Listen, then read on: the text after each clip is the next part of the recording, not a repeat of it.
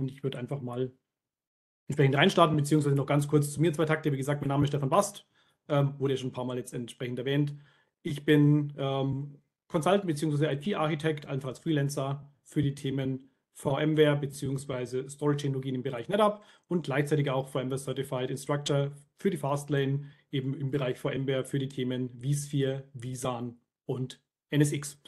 Und was wir einfach diese nächsten, ja, insgesamt 120 Minuten, die wir offiziell haben, mal gucken, wie wir landen werden, uns anschauen wollen, ist, was hat sich denn im Bereich NSX getan? Was hat VMware wirklich mit NSX 4 und den nachfolgenden Releases entsprechend an neuen Features, an Verbesserungen eingebracht, um das einfach besser kennenzulernen und generell nochmal das Thema Netzwerkvirtualisierung insgesamt in den Fokus zu rücken.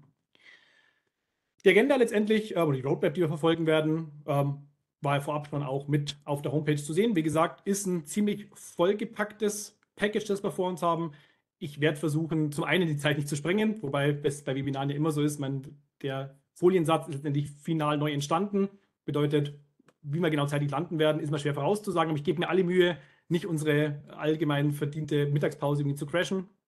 Ähm, und werde gleichzeitig aber auch wirklich diesen Foliensatz nur als wirklich Leitfaden verwenden. Es wird immer wieder mal passieren, dass ich wirklich mal in den Webbrowser springe, irgendwas zeige in der Dokumentation ähm, oder dass wir vielleicht auch ähm, uns ein paar andere Informationsquellen noch anschauen im Internet ähm, bezüglich NSX. Das heißt, hier nicht wundern, ähm, ich werde auch versuchen, diese Übergänge nicht so oft zu machen, weil ich weiß, dass es zum, zum Zuschauen bzw. zum Aufpassen ein bisschen anstrengend ist, aber einfach nur ähm, ja, als Vorwarnung, wenn man so möchte, dass ich hier einfach wirklich die, den Foliensatz natürlich als Hauptleitfaden nehme, aber wir auch darüber hinaus immer so ein bisschen ähm, die Medien bzw. Informationsquellen wechseln werden. Bevor ich jetzt starte, noch ein letzter Hinweis. Ähm, es gibt eine eigene äh, QA, einen eigenen QA-Slot, der vorgesehen ist, ganz am Schluss. Ähm, grundsätzlich natürlich gerne die Fragen spätestens darstellen. Ich bin aber der Typ Trainer, der im Zweifelsfall auch gerne Fragen unter dem Vortrag entsprechend immer wieder gerne reinnimmt. Das heißt, wenn es wirklich im Rahmen einer Folie oder einer Information, die wir gerade diskutieren, irgendwo Rückfragen gibt, ähm, im Zweifelsfall wirklich gerne einfach das Mikro aufmachen, mich unterbrechen, eine kurze Frage stellen oder gerne den Chat verwenden. Ich werde gucken, dass ich immer wieder mal einen Blick auf den Chat äh, werfe, wobei das wirklich mit, mit WebEx im Vollbild ein bisschen schwierig ist. Ansonsten, falls ich eine Frage übersehen sollte während des Vortrags, ähm, bitte nicht böse sehen, das ist auch nicht böse gemeint, ähm, werde ich spätestens dann der Question Answer ähm, äh, im Slot entsprechend aufgreifen. Ansonsten, wie gesagt, das Angebot einfach gerne auch notfalls Mikro auf, Frage direkt stellen, habe ich gar kein Problem damit. Genau, ansonsten, wenn wir die Agenda nochmal ganz kurz durchgehen, wie wir uns rantasten. Wir werden nochmal beginnen, was ist Netzwerkvirtualisierung insgesamt? Ich möchte einfach hier nochmal alle irgendwo abholen, für die das Thema eventuell neu ist. Für alle, die das Grundkonzept der Netzwerkvirtualisierung bereits kennen, wird hier natürlich jetzt nicht viel Neues dabei sein, aber einfach um so ein Level-Set machen, äh, zu haben, den wir alle gemeinsam entsprechend dann als Ausgangslage nehmen. Und dann hangeln wir uns entsprechend wirklich spezifisch durch. Bedeutet, wir werfen einen Blick auf NSX4, was hat sich hier entsprechend alles getan? Was beinhaltet das Portfolio eigentlich? Denn auch hier ähm, muss man ganz klar sagen, NSX allein ist nicht dieser große Kasten ähm, und das letztendlich ist nur Netzwerkvirtualisierung, sondern VMware hat wirklich aus diesem Produkt beziehungsweise dieser Familie inzwischen ähm, ganz viele Aspekte ausgeprägt in verschiedensten Varianten, die wir uns einmal anschauen wollen, gehen zwei Takte auch auf die Lizenzierung ein und gehen dann Step by Step weiter in, über die Architektur, in das Zusammenspiel von NSX mit vSphere Tanzu ähm, und nochmal dann explizit im Punkt Security auf Firewalling und Advanced Security Services in Form der NSX Application Platform. Starten wir durch mit erstmal dem Big Picture. Das heißt, was ist Netzwerkvirtualisierung überhaupt? Warum sollte mich das überhaupt interessieren? Warum könnte es interessant für mich sein? Wir wollen also erstmal zum Start drei zentrale Fragen irgendwie für uns selbst klären. Was ist Netzwerkvirtualisierung überhaupt?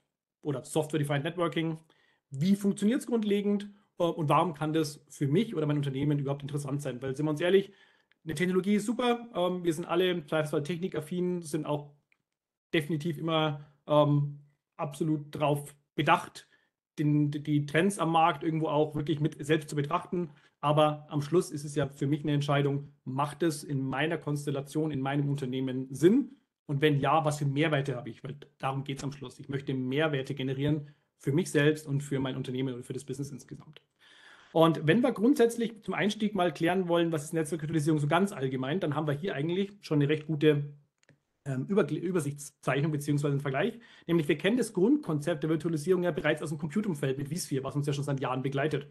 Indem wir einfach sagen, okay, wir nehmen entsprechend eine x86-Hardware, packen hier entsprechend eine Virtualisierungsschicht drauf in Form von einem Server-Hypervisor, E6i zum Beispiel, und Durch diesen Hypervisor haben wir eine Entkoppelung zwischen Hardware und den Workloads, die wir betreiben. Heißt also, wir sind hardwareunabhängig geworden und haben die Möglichkeit, unsere Workloads mobil über die verschiedenen Hosts, über die verschiedenen Hardware-Plattformen hinweg zu bewegen. Und genau die gleiche Idee, genau das gleiche Konzept wollen wir eigentlich in der Netzwerkvirtualisierung verfolgen, nämlich zu sagen, okay, ich habe als Unterbau in irgendeiner Form einen IP-Transport, also letztendlich eine, eine IP-Fabric auf Basis meiner Switche und ähm, verschiedenen Layers, die ich habe, entsprechend Distribution Layer, Core Layer etc. Und ich setze hier aber auch jetzt wirklich dazwischen eine Virtualisierungsplattform, um die Workloads, die ich betreiben möchte, hier oben, eigentlich von dem physischen Aufbau meines Netzwerks unabhängig zu machen. Und genau das ist das, was NSX grundsätzlich für uns tut. Wir haben die Möglichkeit, die Bildung von Overlay-Netzwerken, über die wir jetzt dann noch näher sprechen werden, ähm, unabhängig von meiner unterliegenden Layer 2, Layer 3 Infrastruktur eine komplett eigene Netzwerkinfrastruktur, eine komplett eigene ähm, ja, Netzwerkdomäne ähm, zu bauen, ohne dass ich davon in irgendeiner Form abhängig bin, was denn unterliegend bereits konfiguriert ist an VLANs, an ähm, Layer 2 oder Layer 3 Konfiguration.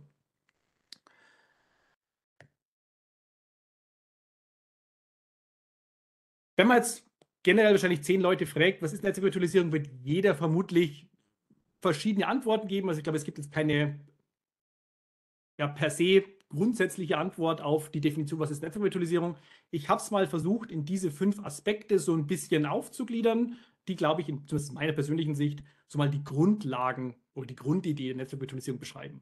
Zum einen ist es ganz klar, das habe ich gerade auch schon ein bisschen angeteasert eigentlich, nämlich die Verlagerung von Netzwerkservices von Physik in Software. Also meine Netzwerkdienste sind plötzlich vor allem softwarebasiert und ich habe immer, wenn ich Software habe, habe ich plötzlich eine neue Form der Flexibilität erreicht, weil ich dadurch auch jetzt, werden wir uns später auch anschauen, spätestens im Bereich für vSphere Tensu, API-basiert, also automatisiert eine Möglichkeit habe, mein Netzwerk umzugestalten, umzukonfigurieren, zu erweitern, ohne dass ich dafür direkt ins, ins Rechenzentrum rennen muss, um, ohne, um Switches zu verbauen, um VLANs zu konfigurieren, ähm, um irgendwie Routing-Instanzen neu aufzusetzen, sondern ich kann das alles wirklich softwarebasiert aus einem Guss über APIs, die mir Netzwerk Hypervisor bietet.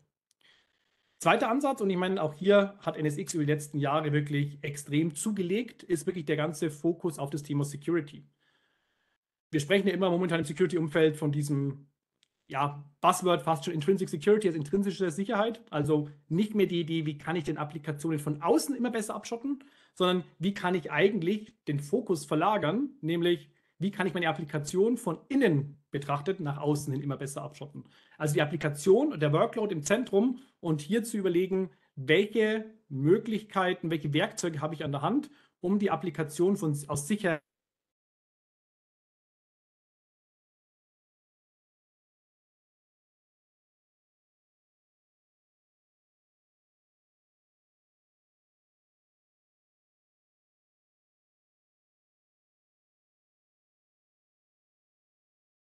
Ähm, und ich habe hier irgendwo im Netzwerk eine zentrale Firewall und von der aus versuche ich alles irgendwie zu managen.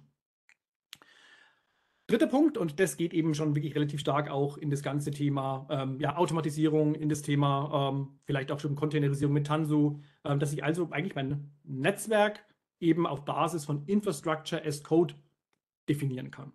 Bedeutet also, meine gesamte Beschreibung, wie mein Netzwerk aussieht, Oh, es gab eine Nachricht, es gab einen Ausfall. Einen Moment, dann möchte ich das kurz aufgreifen.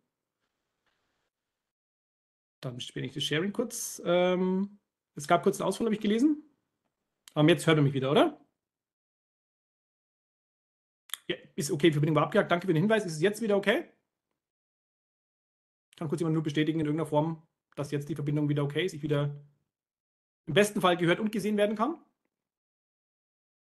Okay, Dankeschön. Ich mache es mal so, ich stoppe mal das Video während der Präsentation. Vielleicht ist es einfach too much an der Stelle. Okay, aber danke für den Hinweis. Gerne immer reingerätschen, weil es äh, macht natürlich keinen Sinn, wenn ich erzähle und Sie hören alle nichts. Oder sehen nichts im schlimmsten Fall. Genau, heißt also, wir waren beim Thema Infrastructure as Code. Das heißt also, ich definiere mein Netzwerk in Zukunft sehr stark codebasiert, wie wir es bereits aus anderen Bereichen kennen. Man, das ganze Thema der Kontinuisierung, wo Sie vielleicht auch gerade an vielen Stellen schon Fuß gefasst haben oder eigentlich selber vielleicht ähm, einfach ja, eigene Fachabteilungen haben, die, die diesen Ansatz bereits leben. Genau dieses Konzept kann ich natürlich auch ins Netzwerk denken, dass ich sage, okay, mein Netzwerk selbst besteht eigentlich aus verschiedenen codebasierten Manifests und die kann ich jederzeit wieder an einer anderen Stelle, vielleicht auch wirklich in einer anderen Cloud in irgendeiner Form anwenden und mein Netzwerk dadurch entsprechend rekonstruieren oder tue mich sehr, sehr leicht, wenn ich Anpassungen vornehmen möchte. Nächster Punkt ist das Thema Microsegmentation. Also auch wieder Security-Sicht zu sagen, okay, ich möchte eigentlich meine Workloads maximal voneinander abschotten. Ich vertraue niemanden und ähm, ich schaue mir einfach an, was ist denn der wirklich effektiv notwendige Traffic zwischen verschiedenen Workload-Instanzen und nur den lasse ich überhaupt noch zu. Das ist wirklich, die, geht die Richtung auf Zero Trust, wo wir uns auch später noch unterhalten werden im Security-Umfeld. Wo ich also überlege, äh, wie kann ich es denn schaffen, meine Workloads eigentlich komplett zu isolieren und nur noch den Traffic den Verkehr zu erlauben, der notwendig ist, um den eigentlichen Dienst zu erbringen. Und dann last but not least, und natürlich hier letztendlich kann man jetzt, äh, glaube ich, in alle Richtungen äh, diskutieren. Ähm, Netzwerkvirtualisierung ist auch eine Brücke für X-Cloud-Szenarien. Also X steht für eine Variable im Sinne von Public Cloud, Private Cloud, Hybrid, was auch immer. Egal in welche Richtung ich denke oder meine Infrastruktur ausrichte oder meine Strategie ausrichte. Ich habe doch Netzwerkvirtualisierung plötzlich ein Werkzeug an der Hand, das es mir sehr, sehr einfach macht, wirklich ein, mein Netzwerk in andere Rechenzentren, in andere Clouds zu bringen. Da ich eben die Hardware-Unabhängigkeit geschaffen habe und äh, softwarebasiert meine Netze eben auch in einem Cloud-Provider meiner Wahl, je nachdem, äh, entsprechend einfach auch mit platzieren bzw. die bis dahin strecken kann. Das sind zwar die Grundaspekte, ähm, was Netzwerkvirtualisierung ähm, an Funktionen oder an, an Motivation mitbringen. Und jetzt schauen wir uns einfach mal ein bisschen genauer an, was Netzwerkvirtualisierung technisch bedeutet. Ganz grundlegend, und das ist natürlich jetzt sehr, sehr vereinfacht, aber kann man definitiv sagen, Netzwerkvirtualisierung lebt vom Konzept der Kapselung, sogenannten Encapsulation. Ich kann mir also vorstellen, ich nehme ein Ethernet-Frame, wie er ist, und packe den in einen anderen. Und das genau passiert am Schluss. Ich nehme letztendlich eigentlich ein Paket und packe es in ein anderes. Und das ist genau das, was eigentlich den Charme mitbringt, denn wenn ich plötzlich eigentlich mein Originalpaket in ein anderes verpacken kann, dann ist eigentlich das äußere Paket nur noch eigentlich das Transportschiff, was dafür sorgt, dass der eigentliche Inhalt der Payload, mein inner Ethernet Frame, dahin kommt, wo er hin soll. Und genau diese Funktionalität bieten uns die verschiedenen ähm, Kap Kapselungs- und Encapsulation-Protokolle, wie zum Beispiel VXLAN oder Geneve. Früher letztendlich, ähm, weil gar nicht, gar nicht so lange her, ähm, basierte NSX wirklich Proto äh, vom Tunneling-Protokoll auf WXLAN. Innerhalb von NSX 4 und weiter, beziehungsweise hatte schon in NSX4 stattgefunden, haben wir die Umstellung auf Geneve, auf das äh, General Networking Encapsulation Virtualization Extension Protokoll. Und ähm, was ich damit tun kann, ist eigentlich, naja, ich kann jetzt Netzwerke bauen, die unabhängig sind vom unterliegenden Aufbau. Heißt also, ich habe unten eine Layer 3 Fabric, natürlich auch Layer 2 und, und Layer 3. Das heißt, ich habe eine Kommunikation zwischen den verschiedenen Instanzen, die an der Netzwerkvirtualisierung teilnehmen. Was für Instanzen das genau sind, werden wir gleich noch kennenlernen.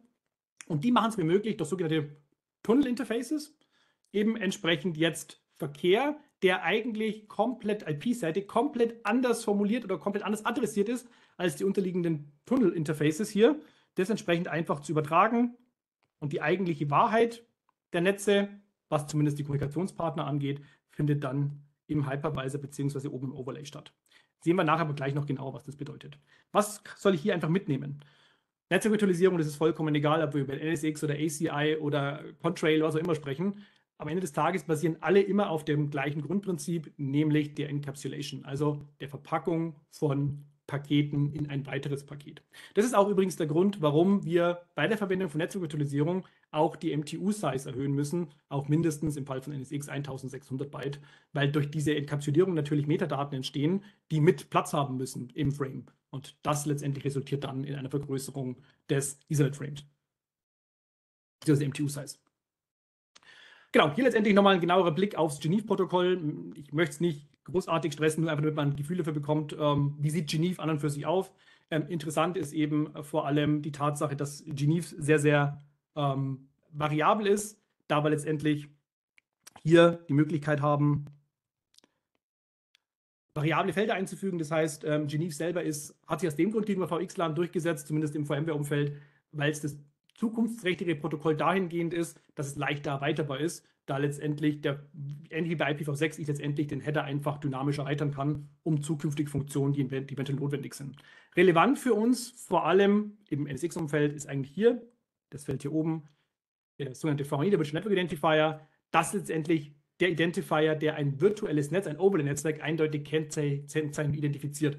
Kann man also, wenn man möchte, so ein bisschen, und das ist zwar sehr weit gestreckt, die Erklärung, aber kann man sich vorstellen, naja, wie das, wie das VLAN-Tag letztendlich nur im Overlay-Netzwerk. Also das ist der Identifier, der klar macht, zu welchem Netzwerk gehört denn entsprechend, zu welchem virtuellen Netzwerk, zu welchem Overlay gehört entsprechend ein Paket oder der Payload, der entsprechend hier in Geneve transportiert wird.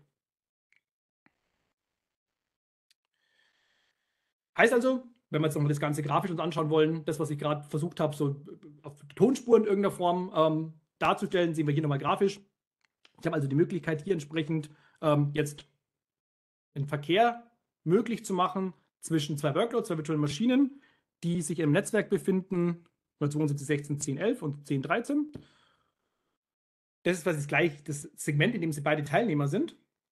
Unterliegend betrachtet die eigentlichen Transport Nodes, ESXi, in dem Fall KVM, wobei da kommen wir noch dazu, KVM inzwischen nicht mehr relevant ist. Die letztendlich haben ein Tunnel-Interface, also die sind in der, in der physischen Fabric, in, der, in meinem physischen Netzwerk eigentlich adressiert mit 172, 20, 10, 151 und 154. Heißt also, was passiert ist, ich transportiere äh, Ethernet-Frames aus, die letztendlich, wenn man es auf Layer 3 auf IP-Seite anschaut, adressiert sind hier im Netz 172, 16, 10 die transportiere ich über die Tunnel-Interfaces in einem Ethernet-Frame, der entsprechend als Payload wieder den Ethernet-Frame mitträgt. Also ich habe Ethernet in Ethernet. Und das ist eigentlich der ganze Trick letztendlich, wie, also hört sich sehr, sehr einfach an, aber ist natürlich im, im technisch implementiert sehr komplex.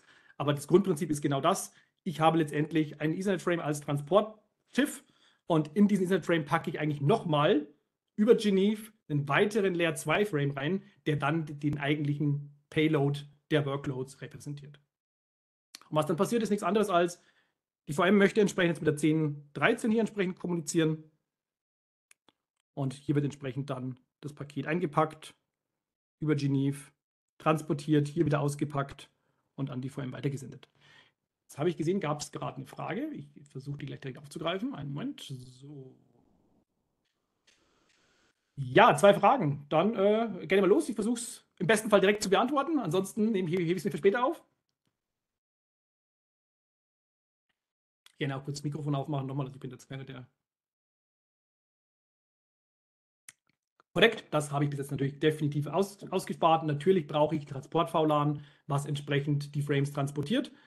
Aber der Unterschied ist, naja, dieses Transport-VLAN ist letztendlich aus Sicht unseres, unseres Workloads hier oben irrelevant, denn die sehen nicht mal, dass überhaupt eine, eine Kapselung stattfindet. Die kriegen am Schluss ja wirklich den Ethernet-Frame so übertragen, als ob der niemals enkapsuliert bzw. dekapsuliert worden ist. Aber ja, natürlich, ich brauche aus Sicht von NSX auf meinen Switches in meiner Fabric ein Transport-VLAN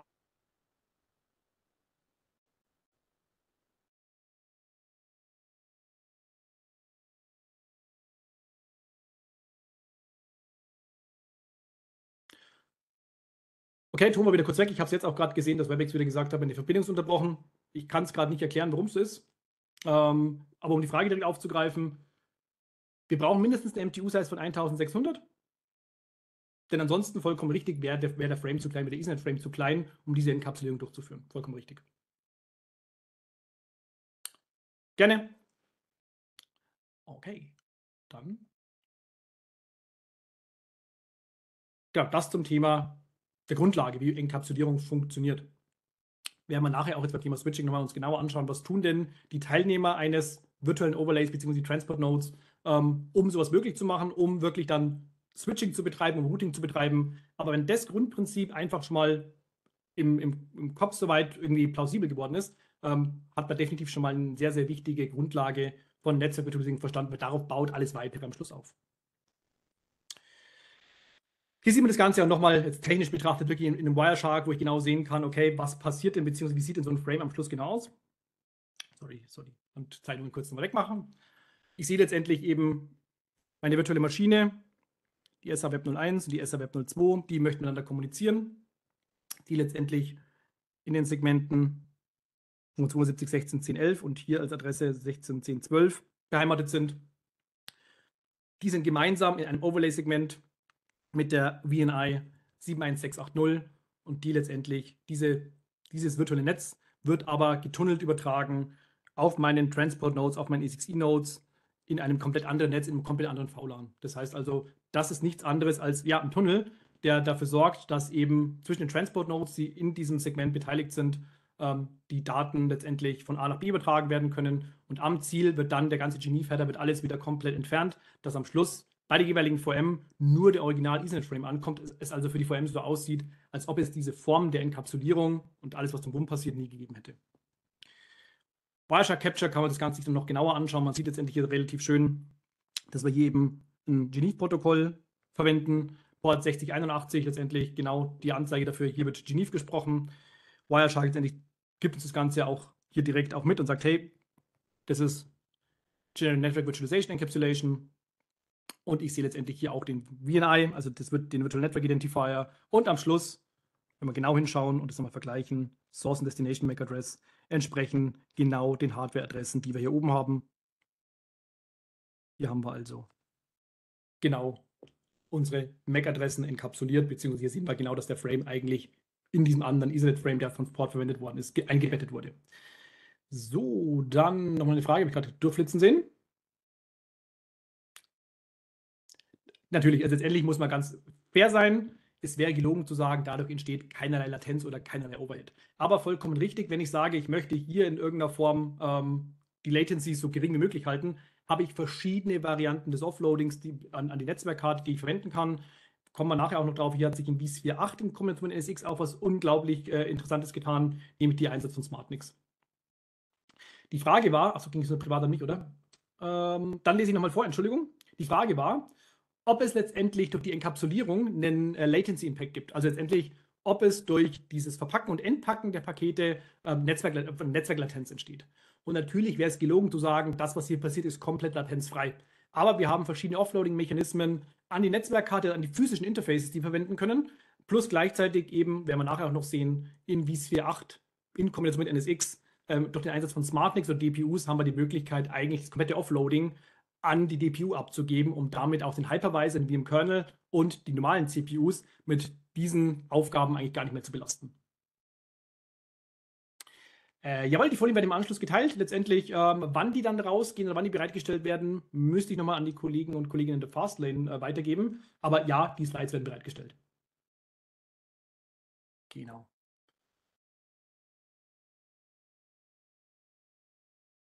Genau, dann habe ich, glaube ich, soweit erstmal alles beantwortet, hoffe ich. Ansonsten gerne jederzeit nochmal nachhaken. Genau, das ganz kurz zum Überblick beziehungsweise wie funktioniert Netzwerkvirtualisierung im Kern.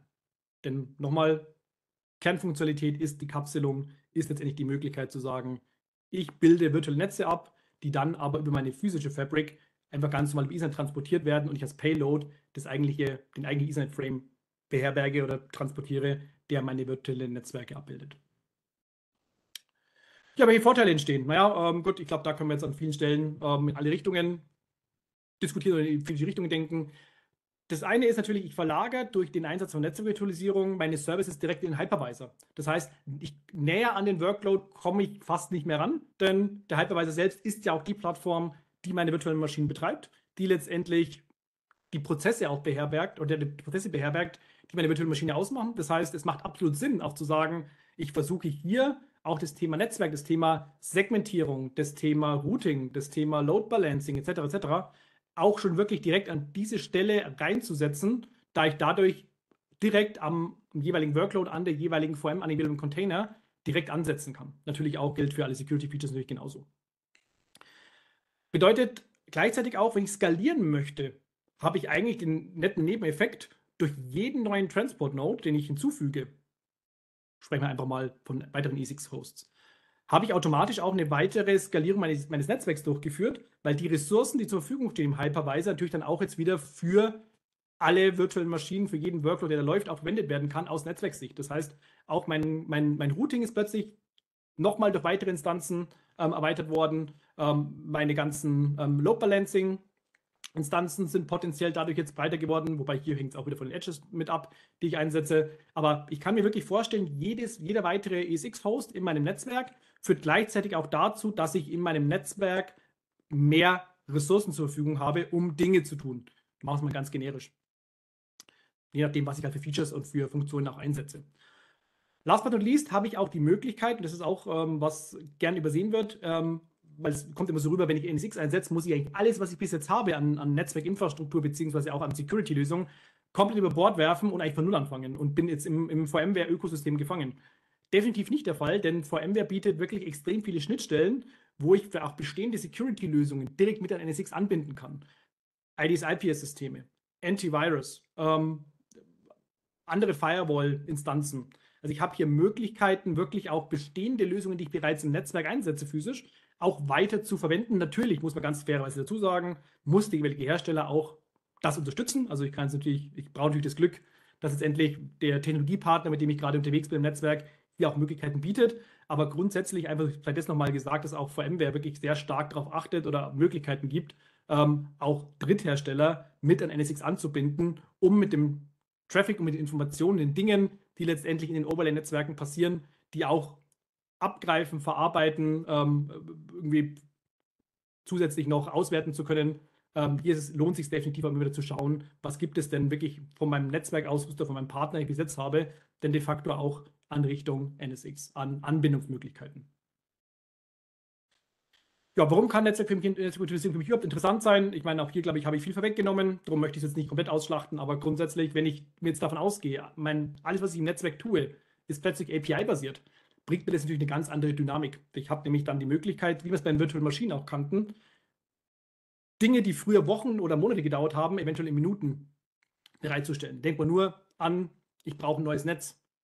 Ist natürlich, wenn ich sage, ich möchte das im physischen Netzwerk ähm, tun, kein Ding der Möglichkeit, nicht falsch verstehen, klar. Aber ich glaube, ich habe deutlich mehr Aufwand zu sagen, okay, ich richte neues VLAN ein, ich muss das überall entsprechend an allen Switchports durchkonfigurieren. Dann muss ich ähm, routing-technisch gucken, dass letztendlich die ganzen, das neue Subnet auch an alle Router verteilt wurde. Ähm, funktioniert alles, aber ich habe theoretisch durch NSX die Möglichkeit, das Ganze API-basiert zu tun und Automatismen, die in NSXE enthalten sind, sorgen dafür, dass alle Hosts darüber informiert werden, das Segment existiert nun, es ist für mich also sofort konsumierbar und auch aus Routing-Sicht habe ich die Möglichkeit zu sagen, okay, ich habe einen Automatismus und ich habe natürlich dynamische Routing-Protokolle, die automatisch dann dieses neue Netz, dieses neue Segment sofort an meine Upstream-Router verteilen und damit ist in meinem Netzwerk dieses neue Segment wirklich innerhalb von wenigen Minuten bekannt. Möglichkeiten zur Verlagerung an andere Standorte, auch irgendwo klar, wenn ich unabhängig bin vom unterliegenden Netzdesign, weil alles virtuell ist, kann ich mir auch überlegen, naja, wo kann ich meine Netze hin verlagern, um vielleicht wirklich jetzt auch andere Ressourcen ähm, entsprechend mit anzuzapfen, die vorher für mich vielleicht nicht erreichbar waren, weil das Thema Netzwerk für mich immer ein Painpoint war. Seien es Co-Location, seien es Disaster Recovery Standorte, seien es wirklich immer Cloud-Szenarien, wo ich sage, ich habe gewisse Workloads, die möchte ich vielleicht ähm, zu einem Cloud-Anbieter entsprechend auslagern. Mir war aber nie klar, wie kann ich es denn schaffen, dass die Netze trotzdem verfügbar sind, dass vielleicht wirklich ich das Netz sogar stretchen kann an einen anderen Standort, gibt mir NSX wirklich extrem viel Flexibilität. Zero Trust Ansatz, wenn wir nachher noch sprechen, es geht einfach daran zu sagen, okay, ich versuche meine Workloads so abzusichern, dass sie wirklich eigentlich nur noch das dürfen an Kommunikation im Netzwerk, was essentiell notwendig ist, um einen Dienst zu tun. Auch hier werden wir vor allem im Rahmen der Application-Plattform noch neue Technologien kennenlernen, die uns Möglichkeiten geben, auch zu analysieren, was tut denn meine Applikation überhaupt? Weil oft ist es schwieriger vorauszusagen, ja, wo kommuniziert denn eigentlich Applikation oder Server XY oder, oder Container XY hin? Was tut der eigentlich? Und auch hier gibt uns NSX sehr viel an die Hand, um genau das rauszufinden und auf Basis dieser Erkenntnisse auch automatisierte Regelwerke mir zu empfehlen für die Firewall, die ich dann direkt anwenden kann, wenn ich das möchte.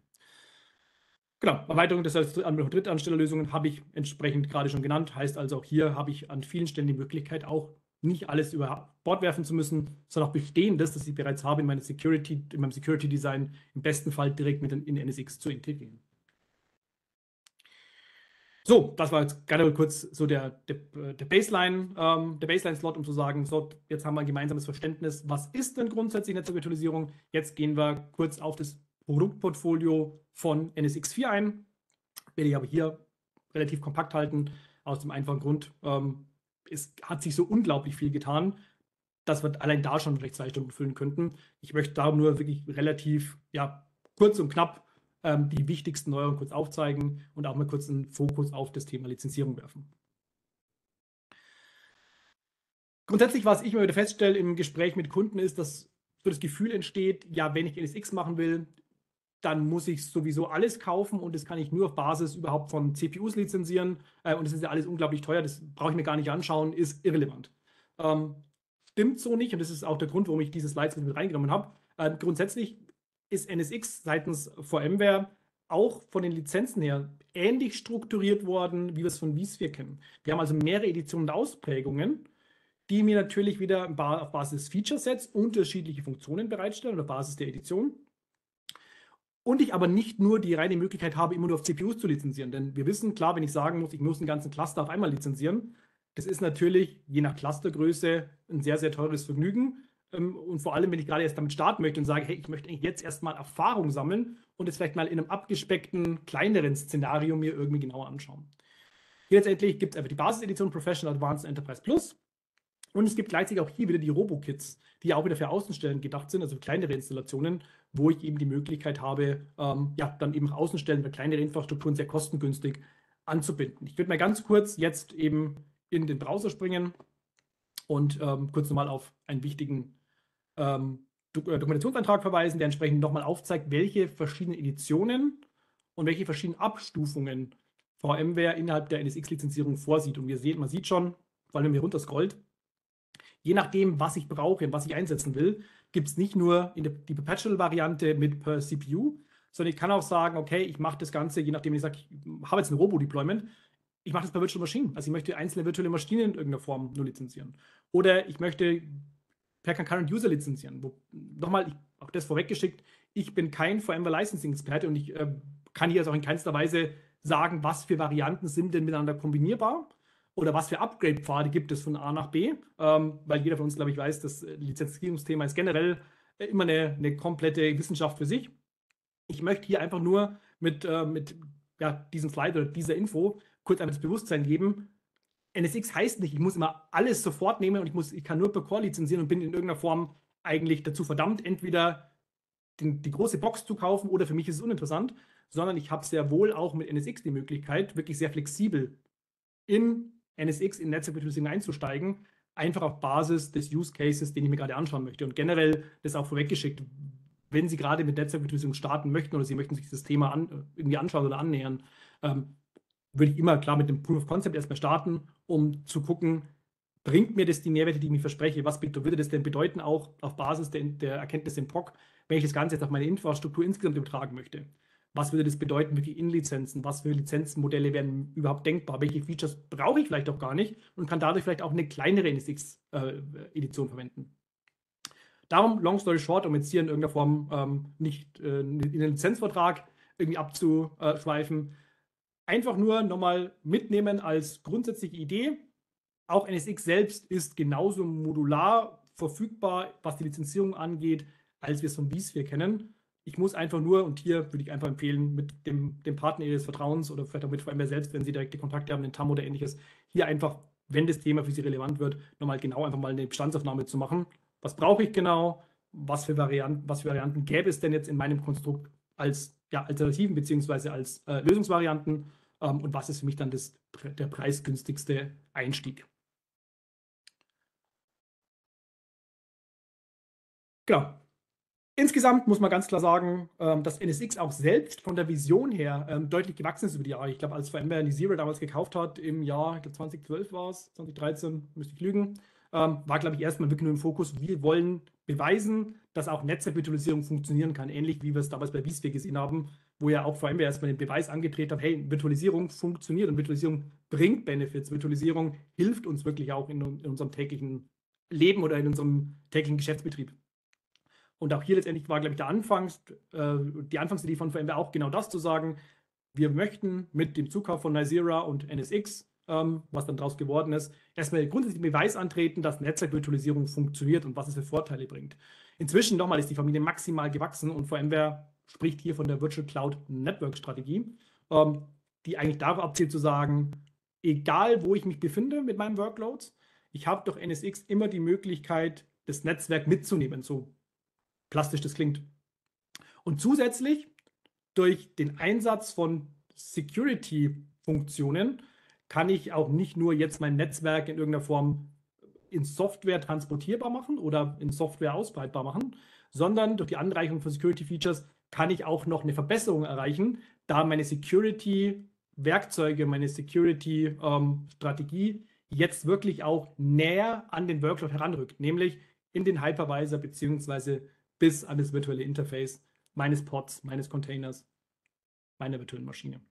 Und wir sehen auch hier auf Basis der verschiedenen Produkte oder Produktfamilien, die sie teilweise herauskristallisiert haben, dass hier einfach auch das Portfolio unglaublich gewachsen ist, von NSX selbst bis hin zu IDS, IPS-Funktionalitäten, zur nächsten Generation der, der Load Balancing, nämlich der Advanced Load Balance auf, auf Basis von AVI. Wir haben entsprechend SD-WAN, wo ich auch sagen kann, okay, ich kann unter dem Hut, zwar nicht direkt von NSX, aber von Velero entsprechend jetzt auch meine SD-WAN-Konnektivität neu beleuchten. Also generell auch das Thema Netzwerkvirtualisierung hat, hat bei VMware inzwischen einen unglaublich großen Stellenwert bekommen, was ich maximal begrüße, weil es eine unglaublich spannende Technologie ist und mir auch unglaublich viele Möglichkeiten an die Hand gibt, je nachdem einfach, wo ich gerade stehe und was denn ich gerade für einen, für einen Use Case habe, beziehungsweise Anforderungen habe, die ich erfüllen muss. Genau, Lizenzierung, nochmal habe ich jetzt auch schon alles weggegriffen, von daher einfach nur, damit es hier nochmal steht. Einfach dran denken, NSX selbst ist auch in verschiedenen Varianten lizenzierbar. Ich muss nicht immer den, den Big Bang machen und sagen, ich kaufe alles oder nichts. Ähm, und grundsätzlich gilt einfach, Lizenzierung immer eine Sache für sich. Wenn da in irgendeiner Form Unterstützung notwendig ist, hier gerne bitte an den VMware-Partner des Vertrauens wenden, beziehungsweise wenn Kontakte direkt zu VMware da sind, ähm, hier einfach wirklich VMware gerne mit ins Boot holen. Ähm, die können wirklich sehr, sehr gut dann auch aufdröseln, okay, was für Upgrade-Pfade sind denn später möglich, wenn ich mich jetzt für X entscheide. Ähm, was bedeutet das für mich, wenn ich jetzt sage, ich würde nur gern mal ähm, NSX mit der Distributed Firewall entsprechend verwenden wollen, den Rest außen vor, etc. etc. So, gerade im Chat noch was? Kam da noch was?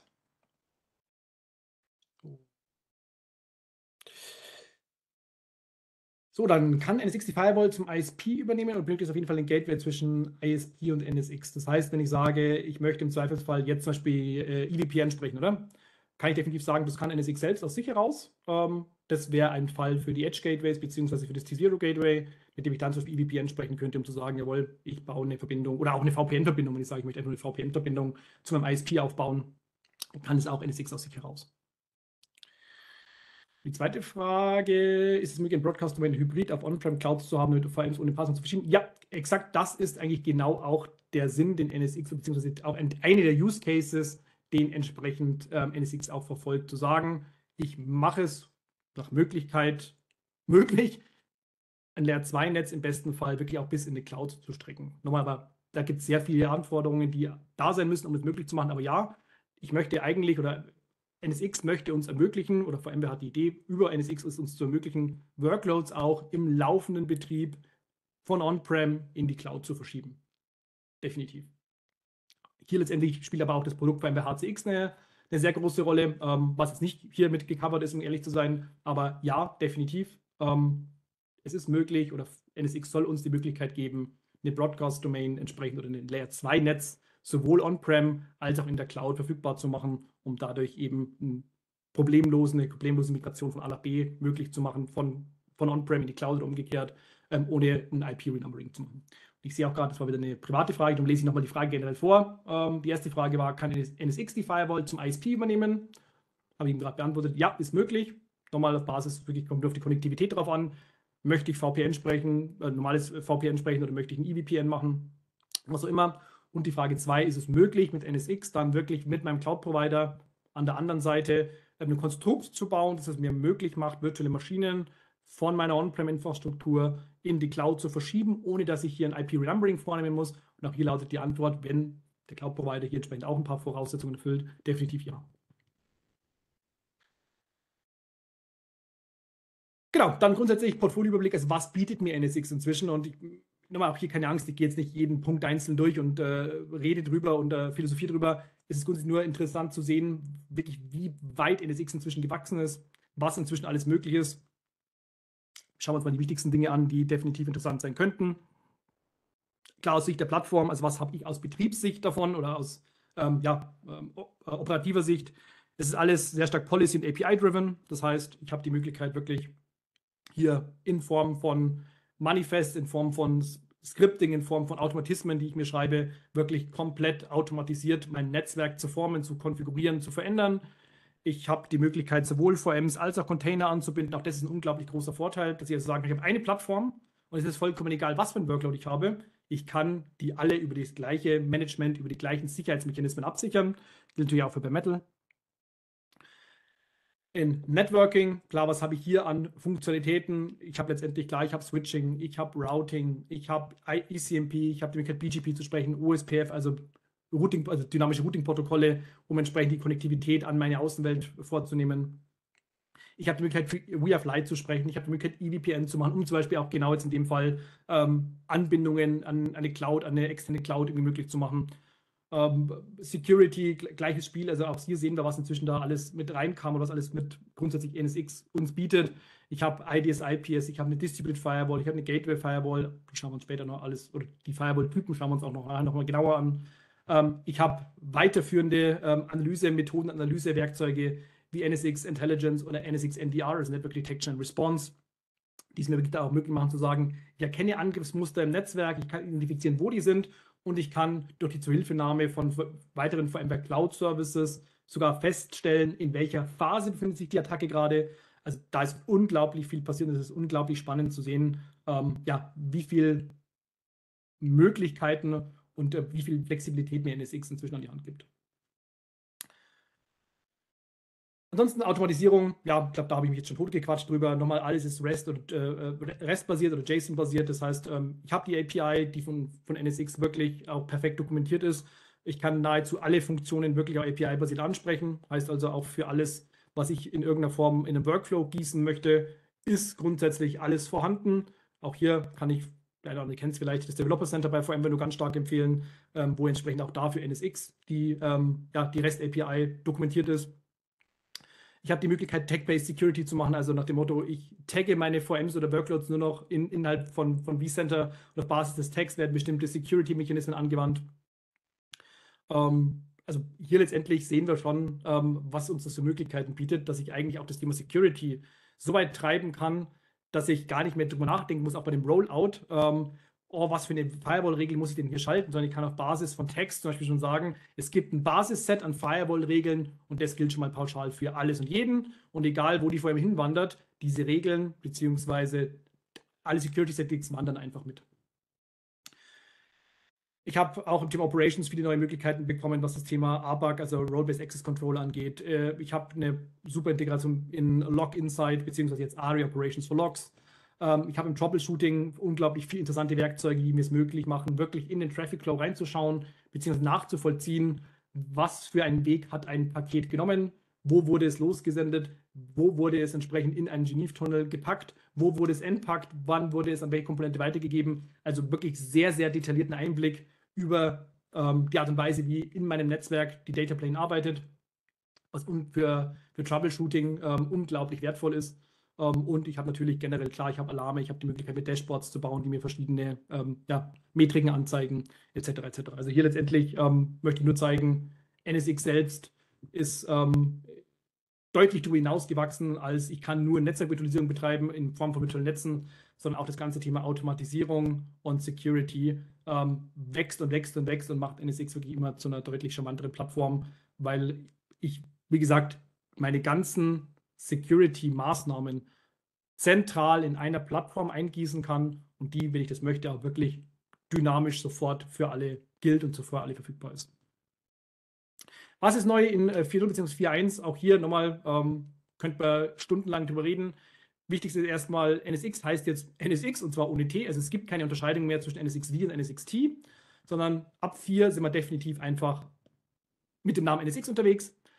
Wir haben eine bessere Unterstützung für IPv6. Das heißt, ähm, was immer noch so ein kleiner Hemmschuh war bisher, war die Tatsache, dass einfach, äh, wenn ich ein, ein komplett ähm, homogenes IPv6-Netzwerk hatte, ähm, immer noch gezwungen war, an manchen Stellen trotzdem IPv4 oder Dual Stack zu sprechen, weil eben NSX noch nicht so weit war. In NSX 4.0 bzw. 4.1 haben wir jetzt die Möglichkeit, zumindest die Kommunikation zwischen Manager und Transport Nodes komplett über V6 zu machen. Es ist immer noch nicht möglich, komplett rein auf V6 umzusteigen, aber ich glaube, das ist der nächste iterative Schritt dazu. Wir haben Multitunnel Endpoint HA, das heißt, ich kann einen Transport Node mit mehreren Tunnel-Interfaces versehen, die dann auch entsprechend ähm, ja, eine hohe Verfügbarkeit abbilden, dass wenn ein Tunnel-Interface down geht, noch ein anderes Interface übernehmen kann. Ähm, ich habe die Möglichkeit jetzt auch auf den NSX Edge Gateways ein Packet Capture durchzuführen, also wie genau anzuschauen, was passiert auf den Edges. Wer die Edges noch nicht kennt, werden wir nachher auch noch drüber sprechen, die das Bindeglied darstellen zwischen Overlay-Netzwerken und mein, meiner normalen Netzwerkinfrastruktur, meiner VLAN-basierten Netzwerkinfrastruktur. wenn wir hier schauen, also auch hier nur kurz ein, ein Hinweis auf die Release Notes. Ähm, das hier, was wir gerade sehen, sind alle Änderungen in Version 4.0. Und ähm, da, die Liste ist schon extrem üppig. Und wenn wir jetzt sagen, ich möchte das Ganze mir noch 4.1 anschauen, ist das Ganze mindestens nochmal so mächtig. Also man sieht wirklich, da passiert unglaublich viel. Wer ähm, ja, gibt hier unglaublich Gas, um wirklich auch NSX immer weiter auszubauen, immer weiter zu verbessern ähm, und uns hier wirklich auch in die Richtung der anderen Produkte, die es auch in, in den verschiedenen Portfolios gibt, immer eine bessere Integration zu bieten, um wirklich ja diese, diese Vision vom Virtual Cloud Network eigentlich auch langsam aber sicher immer mehr in die Tat umzusetzen. In meinen Augen. Von daher extrem spannende Entwicklung, die hier passiert besonders in 4.0 bzw. auch 4.1 war nochmal ein sehr, sehr wichtiges Release oder waren zwei wichtige Releases für VMware. Ein Highlight, das ich rausheben möchte, war ich vorhin schon ganz kurz, weil es kam das, die Frage, wie kann ich den offloaden? Weil ja, natürlich, es wäre gelogen zu behaupten, das Konzept der, der Enkapsulierung, Dekapsulierung braucht keinerlei Overhead und kostet keinerlei Performance. Naja, die Fragestellung, gibt es eine Möglichkeit, hier irgendwie Offloading zu betreiben, im Sinne von, die Netzwerkkarte soll das übernehmen für mich äh, und vielleicht einen Hypervisor dahingehend entlasten, um hier wirklich so effizient wie möglich und mit so wenig Latenzgewinn oder mit Latenz, ähm, ja, Latenzaufschlag wie möglich entsprechend diese Services, diese virtualisierten Services anzubieten.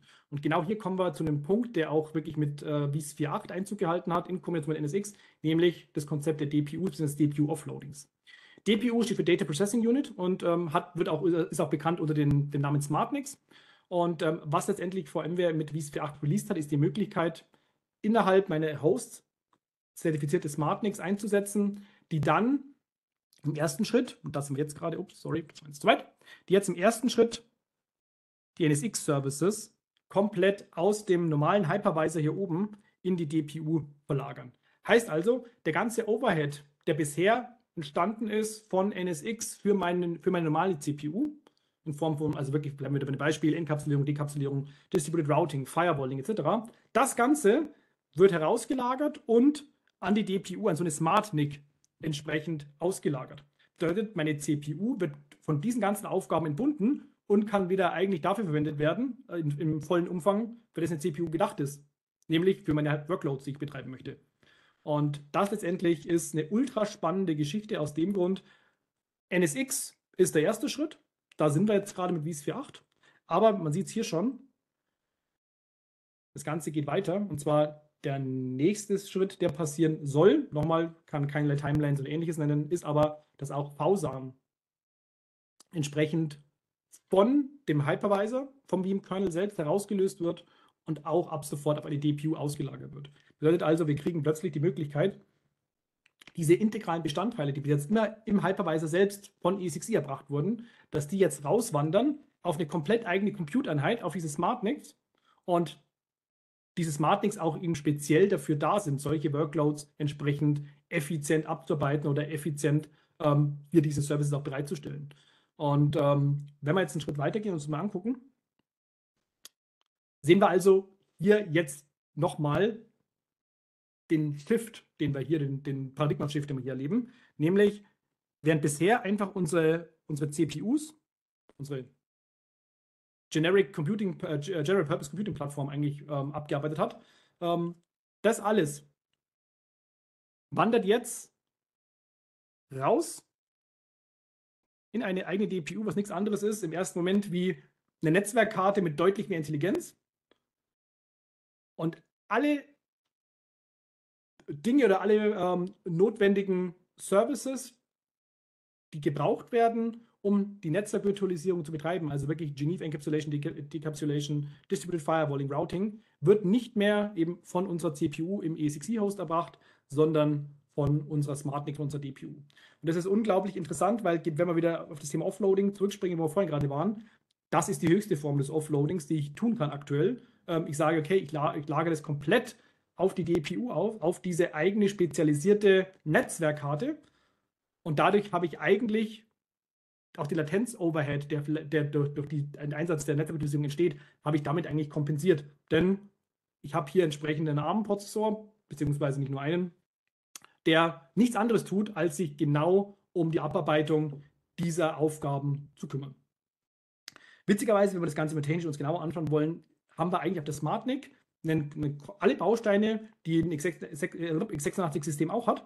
Und gleichzeitig ist auf dieser SmartNIC E6i installiert. Das heißt, wir haben E6i in E6i, was im ersten Moment ein bisschen verrückt klingt, aber irgendwo logisch, denn die DPU selbst muss ja auch die ganzen Schnittstellen und ähm, APIs beherrschen, die notwendig sind, um NSX überhaupt zu betreiben und später auch VISAN. Und darum letztendlich installieren wir auf die SmartNIC im Rahmen, wenn ich, also wenn ich einen neuen E6i-Host installiere und habe eine unterstützte SmartNIC in meinem E6i-Host, installiere ich beim Setup von E6i gleichzeitig E6i on ARM, also die ARM-Version von E6i, installiere ich auf die SmartNIC und habe dadurch dann eben eigentlich in meinem E6i-Host nochmal einen E6i-Host, der auf dieser Architektur bzw. auf dieser Plattform lebt. Ist eine ultra spannende Geschichte. Ähm, wichtig ist im ersten Moment nur, man, sich im, ins Gedächtnis zu rufen oder es einfach zu merken, dass ich durch diese Möglichkeit des Offloadings eigentlich ganz neue Möglichkeiten habe, sowohl in puncto Netzwerkvirtualisierung als auch später, wenn ich VSAN einsetze, zu sagen, okay, ich möchte diese, diesen Storage-Service, der früher im Kernel gelebt hat, jetzt hier auslagern, ähm, dass ich das jetzt wirklich auch in einer ganz anderen Dimension tun kann. Und der Overhead, der entsteht, der entstanden ist, den bis jetzt meine CPUs erbringen mussten, der wandert jetzt komplett auf die DPU. Das Ganze letztendlich, vielleicht kannst du eine oder kennt der eine oder andere das äh, Project Monterey. Das letztendlich ähm, das, äh, der, der Codename, der damals vor, vor zwei Jahren war wo das erste Mal über Project Monterey von VMware in irgendeiner Form ähm, ja, berichtet wurde, wo erstmal auf der VM Explorer auch ähm, drüber gesprochen wurde. Das ist endlich jetzt die, die Productization, also das ist das Produkt, was daraus entstanden ist, ähm, nämlich die Integration, die Verwendung von SmartNICs oder DPUs in, innerhalb von E6i und damit der Möglichkeit auch verschiedene Komponenten, die im VM-Kernel bis jetzt verwendet sind, in Zukunft auf die DPU auszulagern. Und der erste Schritt ist eben Stand jetzt, wie es 480, ähm, NSX und in späteren, in späteren Schritten wird definitiv auch VSAN dazukommen.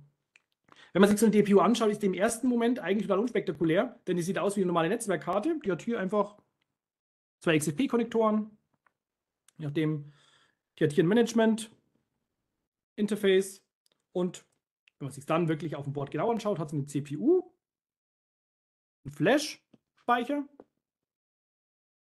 und hier entsprechend einen Accelerator. Und was passiert ist eigentlich nichts anderes als, ja, wir installieren hier auf dieses Flash-Device ESXi on ARM, also das tut letztendlich der ESXi Setup Install automatisch für uns. Und was damit passiert in Zukunft, ist dass eigentlich alles, was NSX betrifft, eben in Zukunft nicht mehr auf, unserem, auf unseren CPUs im Hypervisor, im Host direkt ablaufen, sondern alles hier sich abspielt. So, da kam gerade die Frage, sehe ich. Also, grundsätzlich ist der Nested E6E Host versteckt, das heißt, den sehe ich so im vCenter nicht. Ich kann ihm natürlich eine Management-IP geben, vor allem für Troubleshooting, ähm, aber grundsätzlich, auch das ist, geht ein bisschen über den Vortrag hinaus, aber trotzdem, ich kann es einfach schon mal äh, mit einstreuen. Grundsätzlich ist der Lifecycle Manager so konzipiert, dass er erkennt, jawohl, der Host hier, der hat eine DPU, der hat entsprechend auch diese E6i und ARM-Installation und immer, wenn ich einen E6i-Host zum Beispiel aktualisiere, wird auch automatisch ähm, die notwendigen, wenn auch die notwendigen Patches ähm, für die DPU installiert. Das heißt, für mich als vSphere-Admin ist die DPU eigentlich, zumindest operativ, transparent. Ich sehe sie natürlich, wenn ich im vCenter gehe auf Configure Hardware, sehe ich die natürlich. Oder wenn ich wirklich sage, ich möchte die Offloading-Funktion äh, nutzen, muss ich natürlich mein DV-Switch mit einem Uplink versehen, der von der DPU kommt. da sehe ich dann die, die DPU, aber der Host selbst, also diese Nested ESXi, wenn man es bezeichnen möchte, ähm, was von Begrifflichkeit ein bisschen schwierig ist. Er ist, er ist nested und doch nicht nested, weil nested wäre für mich in Software gegossen.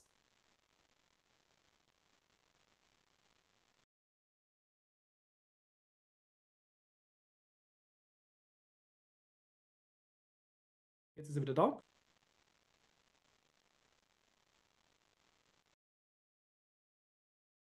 Okay, danke.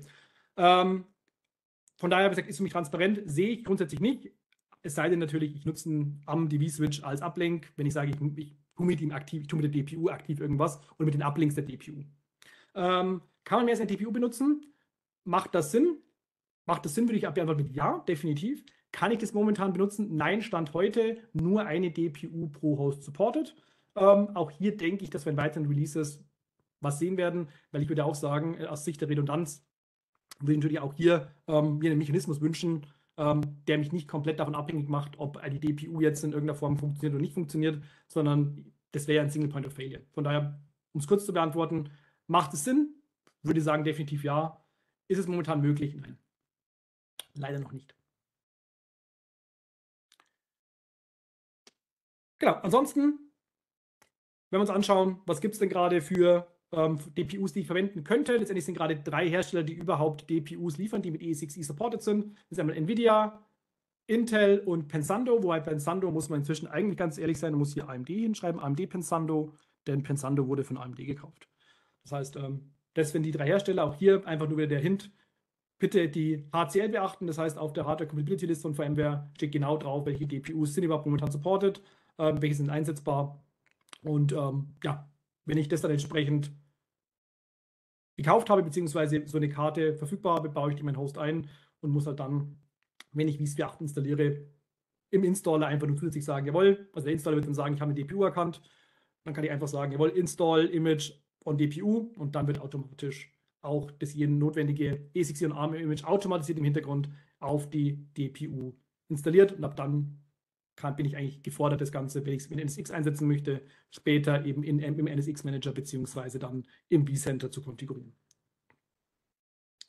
Genau, das kurz als, ja, für, für mich das Highlight in vSphere 8 mit NSX, eben das komplette Offloading der NSX-Services auf eine DPU. Schauen wir uns mal kurz noch die grundlegende Architektur von NSX an. Auch hier, viele von Ihnen setzen NSX vielleicht schon ein, kennen vielleicht die Komponenten schon. Trotzdem möchte ich einfach nur nochmal basisseitig über die verschiedenen Begrifflichkeiten drüber gehen, einfach damit wir hier wieder ähm, ein gemeinsames Bild haben, aus was besteht denn NSX und was tun denn die einzelnen Komponenten. Grundsätzlich, welche Komponente umfasst NSX? Naja, man kann es eigentlich ganz grob aufteilen in drei Komponenten, nämlich den NSX Manager, die Transport Nodes und die NSX Edge Nodes. Der Manager oder die Manager, muss man ganz klar sagen, sind die Control Plane der Infrastruktur. Die Transport Nodes sind die Data Plane, da findet der eigentliche Transport der Pakete statt. Und die Edge Nodes haben eine spezielle Funktion. Das sind Maschinen oder Cluster, die letztendlich mir den Übergangspunkt darstellen von meinen Overlay-Netzwerken, die ich innerhalb von NSX erzeugt habe, zu meinen VLAN-basierten Netzwerken in meine klassische Welt, nennen wir es mal so. Nodes, die äh, Edge Nodes haben noch ein paar Sonderfunktionen, die zusätzlich noch dazukommen, aber grundsätzlich die Basisfunktion in Edges ist genau das. Das ist der Brückenpfeiler, das Brückenglied zwischen Overlay und unseren VLAN-basierten Netzwerken. Hier sehen wir es nochmal in ein bisschen bunter bzw. detaillierter. Jede NSX-Installation startet eigentlich mit dem Ausrollen einer NSX Manager Appliance. Das ist auch das Stück Software, das ich bei VMware herunterlade. Das ist eine UVA, die letztendlich, da gebe ich eine IP-Adresse, der sage ich, okay, welche Größenordnung, der sage ich, welchem Netz soll sie beheimatet sein. Ab dann habe ich grundsätzlich eben den NSX Manager bzw. Die, die Verwaltungsoberfläche erstmal verfügbar und kann dann im nächsten Schritt hergehen, um zwei weitere Manager auszurollen, um damit einen Cluster zu formen. Ich kann auch sagen, okay, ich mache grundsätzlich auch einen Singleton-Cluster, äh, Singleton das heißt mit einem einzigen NSX-Manager ähm, dann ist der halt nur geschützt von, äh, von vSphere im besten Fall. Auch das ist inzwischen supported, äh, dass ich auch sagen kann, okay, ich möchte diese Redundanz aus drei nicht, sondern ähm, ich mache nur einen einzigen Manager. Empfehlung von VMware ist aber ganz klar, irgendwie zu sagen, hey, Manager immer redundant halten, drei VMs, die bilden dann automatisch einen, einen Clustering-Verbund und sorgen dafür für die Hochverfügbarkeit meiner Control Plane. Das ist übrigens dann auch der Einstiegspunkt für mich, für die Administration. Das heißt, diese Manager hosten das Webinterface und gleichzeitig auch den, die API-Endpunkte. Das heißt, auch wenn ich sage, ich greife jetzt API-basiert auf NSX zu, tue da Dinge, ist mein Ansprechpartner, der Endpunkt, den ich anspreche, immer der NSX Manager. Gleichzeitig, wer NSX schon länger kennt, weiß, dass es früher neben den Managern auch die NSX Controller gab. Das waren nochmal einzelne VMs. Die sind inzwischen aber komplett mit in den Manager gewandelt. Das heißt, wir haben in den Managern eigentlich zwei Komponenten auf einmal, sowohl die, den Manager als auch die Control Plane. Und heißt, wenn ich beginnen möchte, NSX zu deployen, wäre das eigentlich der Ausgangspunkt. Ich nehme drei Manager, packe die in den Cluster, bilden dann selber automatisch einen Cluster und damit habe ich erstmal so grundsätzlich meinen Management Plane Anteil aufgebaut. Natürlich kann ich zusätzlich noch sagen, jawohl, ich packe noch einen Load Balancer davor, um, äh, um hier entsprechend nochmal Lastverteilung auf die Manager zu betreiben. Also nochmal, hier gäbe es noch, noch sehr viele Details, die man nennen kann oder die man sich die man betrachten muss, wenn man entsprechend diesen Manager-Cluster aufbaut. Aber grundsätzlich einfach für, für das Basisverständnis. Ausgangslage sind meine Manager. Einer mindestens, logisch gesagt, oder Empfehlung von VMware auch ganz klar zu sagen, hey, ich gehe redundant, ich nehme drei und verteile natürlich auch wieder per DRS-Regeln auf drei verschiedene Hosts ähm, und dann formen die intern ihren Cluster und damit habe ich die Hochverfügbarkeit entsprechend gegeben. Was dann kommt, die Data Plane hier unten, das sind dann meine Transport Nodes. Die Transport Nodes sind entweder ESXi-Hosts oder, das muss ich jetzt wegstreichen, KVM inzwischen nicht mehr supportet. Es gibt also nicht mehr die Möglichkeit, jetzt auch wirklich einen KVM-Host als Transport Nodes ähm, zu verwenden. Die wurden in 4.0 soweit abgekündigt. Das heißt, KVM selbst ähm, ist nicht mehr direkt als Transport Nodes verwendbar, sondern vor allem geht jetzt hier den, den All-in E6E-Host-Ansatz. Ähm, ich glaube einfach, dass vermutlich, nochmal, ich weiß es nicht, einfach nur meine Vermutung, vermutlich war da einfach der, der Use Case nicht groß genug, dass sich die Weiterentwicklung gelohnt hat. Äh, Fakt ist halt letztendlich NSX selbst, beziehungsweise die Verwendung des Transport Nodes mit, mit 4.x erstmal nur wirklich, wenn ich bei Hypervisern bleibe, nur für E6E. Ansonsten kann ich weiterhin natürlich auch bei Metal Server einbinden und ich habe natürlich auch meine Edges.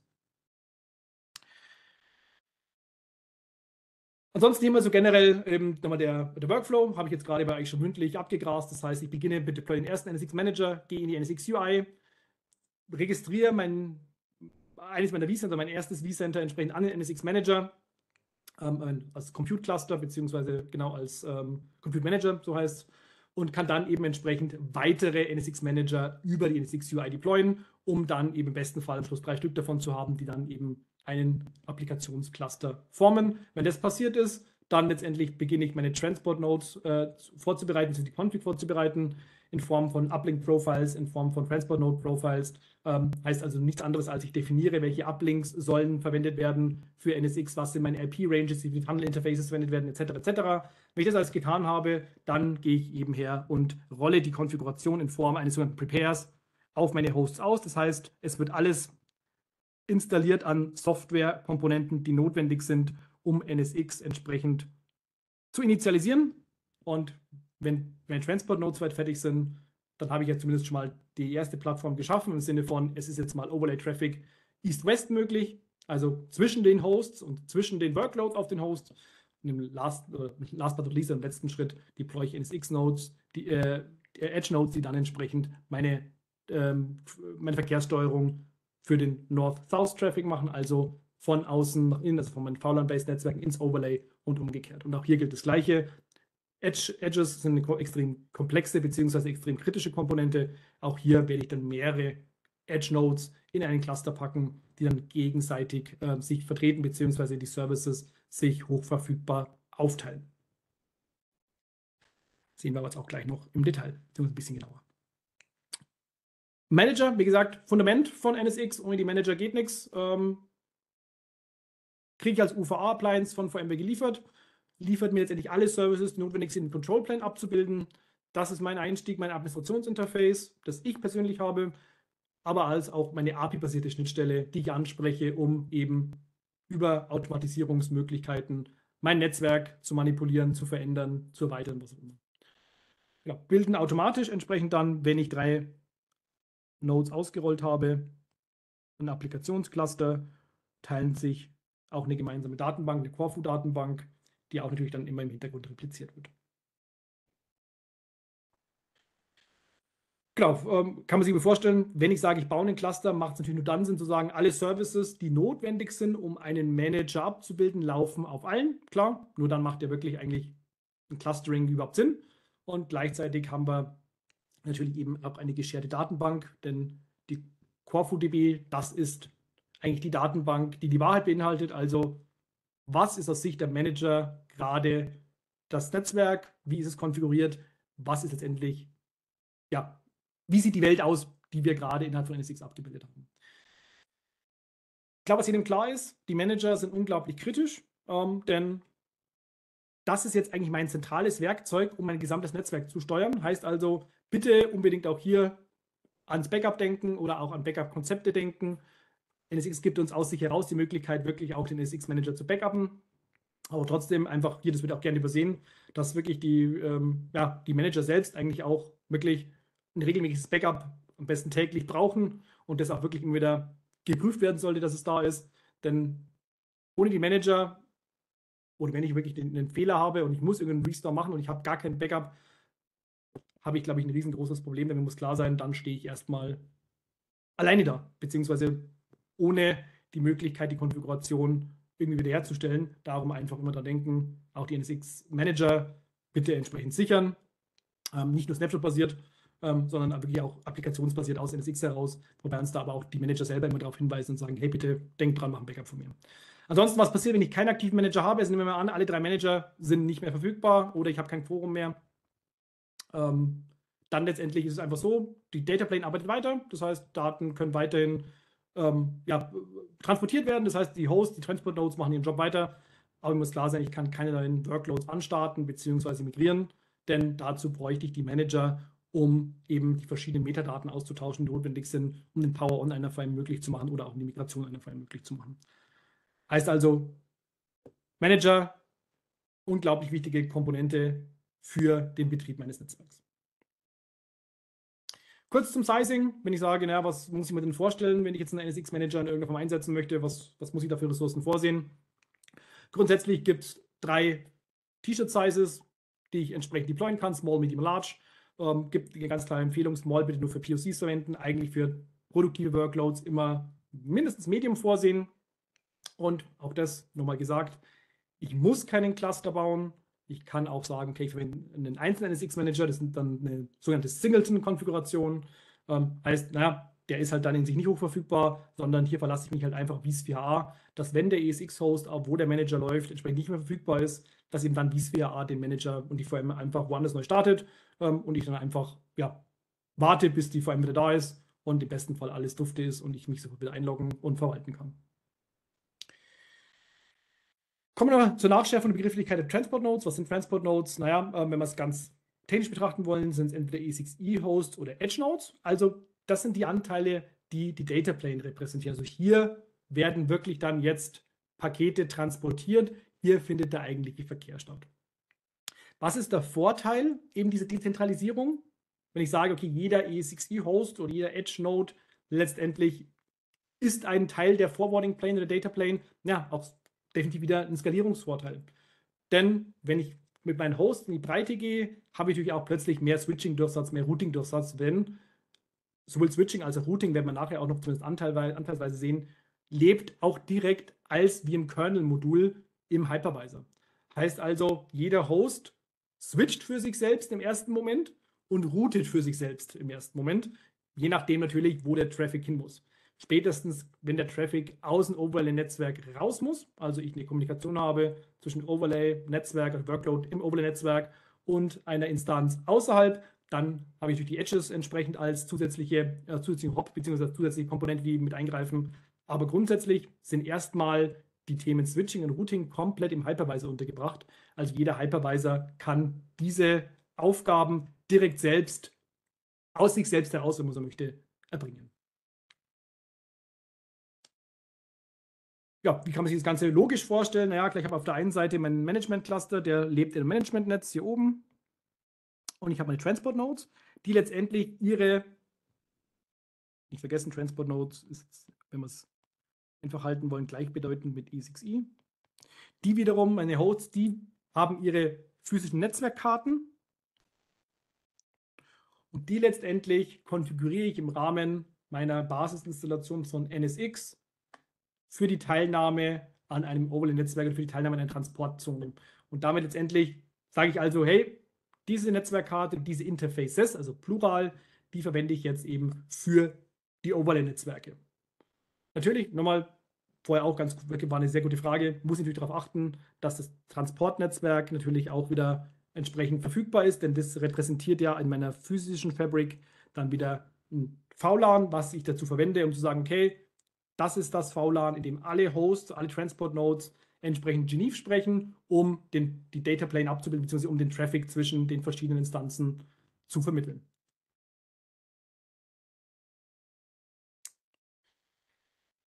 Wenn wir ein Stück weitergehen, was ist die Grundlage? Eigentlich ist es der NVDS bzw. Distributed Virtual Switch.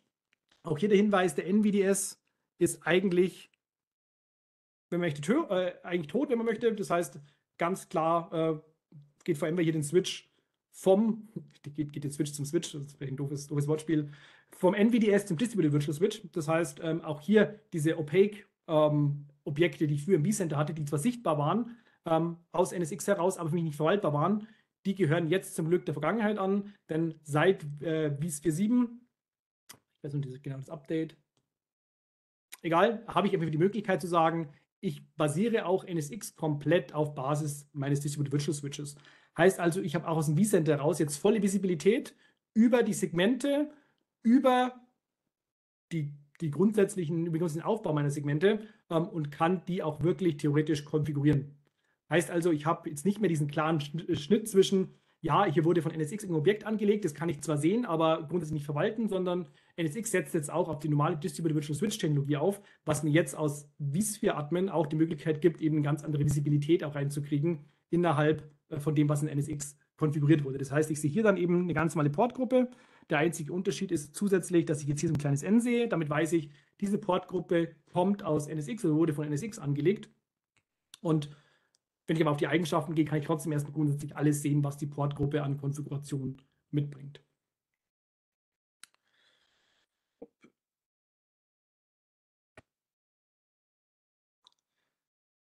Schauen wir noch ganz kurz an, wie funktioniert Switching und Routing. Grundsätzlich kann man, also muss man sich erstmal entweder den Vergleich zur Physik holen, wie es in der physischen Welt abläuft. Ja, wie funktioniert denn eigentlich in der physischen Welt die, die Tatsache, wenn ein Switch jetzt die Aufgabe hat, ein Frame weiterzuleiten. Na, was macht er? Er guckt in sein Mac-Table und schaut, an welchem Port hängt denn die jeweilige Mac, die angefragt ist. Kenne ich die? Wenn ja, super. Wenn nein, muss ich im Zweifelsfall einen Broadcast ausmachen. Vielleicht ist es ja auch ein Broadcast, was gerade hier äh, ankam. Ähm, dann flatte ich das an alle Interfaces entsprechend raus, außer auf, das, auf dem, äh, wo das Paket eingeliefert wurde. Das Ganze funktioniert in NSX grundlegend anders, weil wir natürlich auch eine verteilte Architektur haben und wir glücklicherweise den Fall haben, dass jeder Host einen Teil der Wahrheit bereits kennt. Denn wenn ich eine virtuelle Maschine anschalte, dann muss ich nicht mehr rausfinden, was die für eine MAC-Adresse hat, denn der Hypervisor weiß bereits, was für eine MAC-Adresse hat denn eine VM. IP-Adressen, theoretisch genau das gleiche. Ich muss nicht mehr in irgendeiner Form jetzt ermitteln, mit welchen Mechanismus auch immer, was habe ich denn hier für eine IP, sondern wir wissen das bereits. Die eigentliche Aufgabe, die wir haben, ist nur dieses Wissen, was jeder Host einzeln für sich in irgendeiner Form von der Welt aufbauen kann, das irgendwo zu zentralisieren und dieses Wissen gesammelt allen Hosts, allen Transport Nodes zur Verfügung zu stellen. Und genau das ist das, was im Hintergrund eigentlich generisch passiert. Jeder Node, also jeder Transport Node, ermittelt diese Informationen und gibt diese Informationen an die Central Control Plane, die an die Manager weiter. Und die wiederum konsolidieren diese Informationen von allen Hosts und geben sie an alle wieder weiter. Das heißt, die Manager kümmern sich, kümmern sich darum, ein eindeutiges Bild über das gesamte Netzwerk zu bilden und das an die Hosts weiter zu verteilen, sodass eine Konvergenz entsteht. Also alle Hosts das gleiche Bild aufs Netzwerk haben.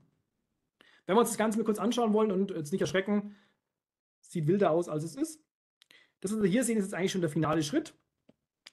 Fangen wir an mit dem Tab-Table. Der Tab-Table ist die Zuordnung zwischen welches virtuelle Netzwerk und welche Netzwerk-ID ist erreichbar über welches Tunnel-Interface. Und am Anfang wird jeder Host von sich aus sagen, also okay, ich habe hier Segmente und ein Segment mit der VNI 73728 und meine Tunnel-Interface-IP ist im Fall vom Host A 1020 1011 Das weiß ich, also kann ich sagen, wenn bei mir jemand in das Segment 73728 sprechen will, dann erreicht er mich über meine Tunneladresse 10, 20, 10, 11. Das ist schön, dass er das selbst weiß, bringt aber den anderen Hosts nichts, weil die müssen es ja auch wissen. Nur dann kann ja in irgendeiner Form überhaupt diese Information, diese Landkarte entstehen. Welcher Host ist für welches Segment über welche Tunnel Interface IP erreichbar? Und was dann passiert ist, jeder Host selbst definiert diese Information für sich und was, und darum sind wir jetzt hier schon beim Schritt 4, das heißt, wir haben die anderen drei jetzt eigentlich ausgelassen. Diese Information, welche VNIs über welche Tunnel Interfaces erreichbar sind, gibt, jeder ESX, ESXi-Host an den CCP weiter, also die Central, Control, an die Central Control Plane, also die Manager.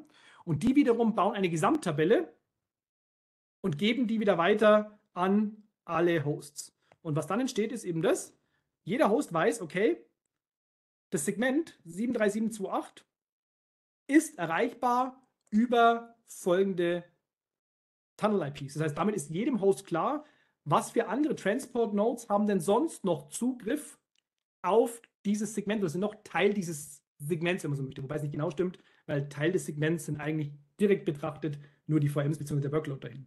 Aber über diesen Weg kann eben ein ESX-Host für sich erkennen oder verstehen lernen, welche anderen Tunnel-Interfaces existieren für dieses Segment und wie kann ich die erreichen. Das ist der erste Anteil.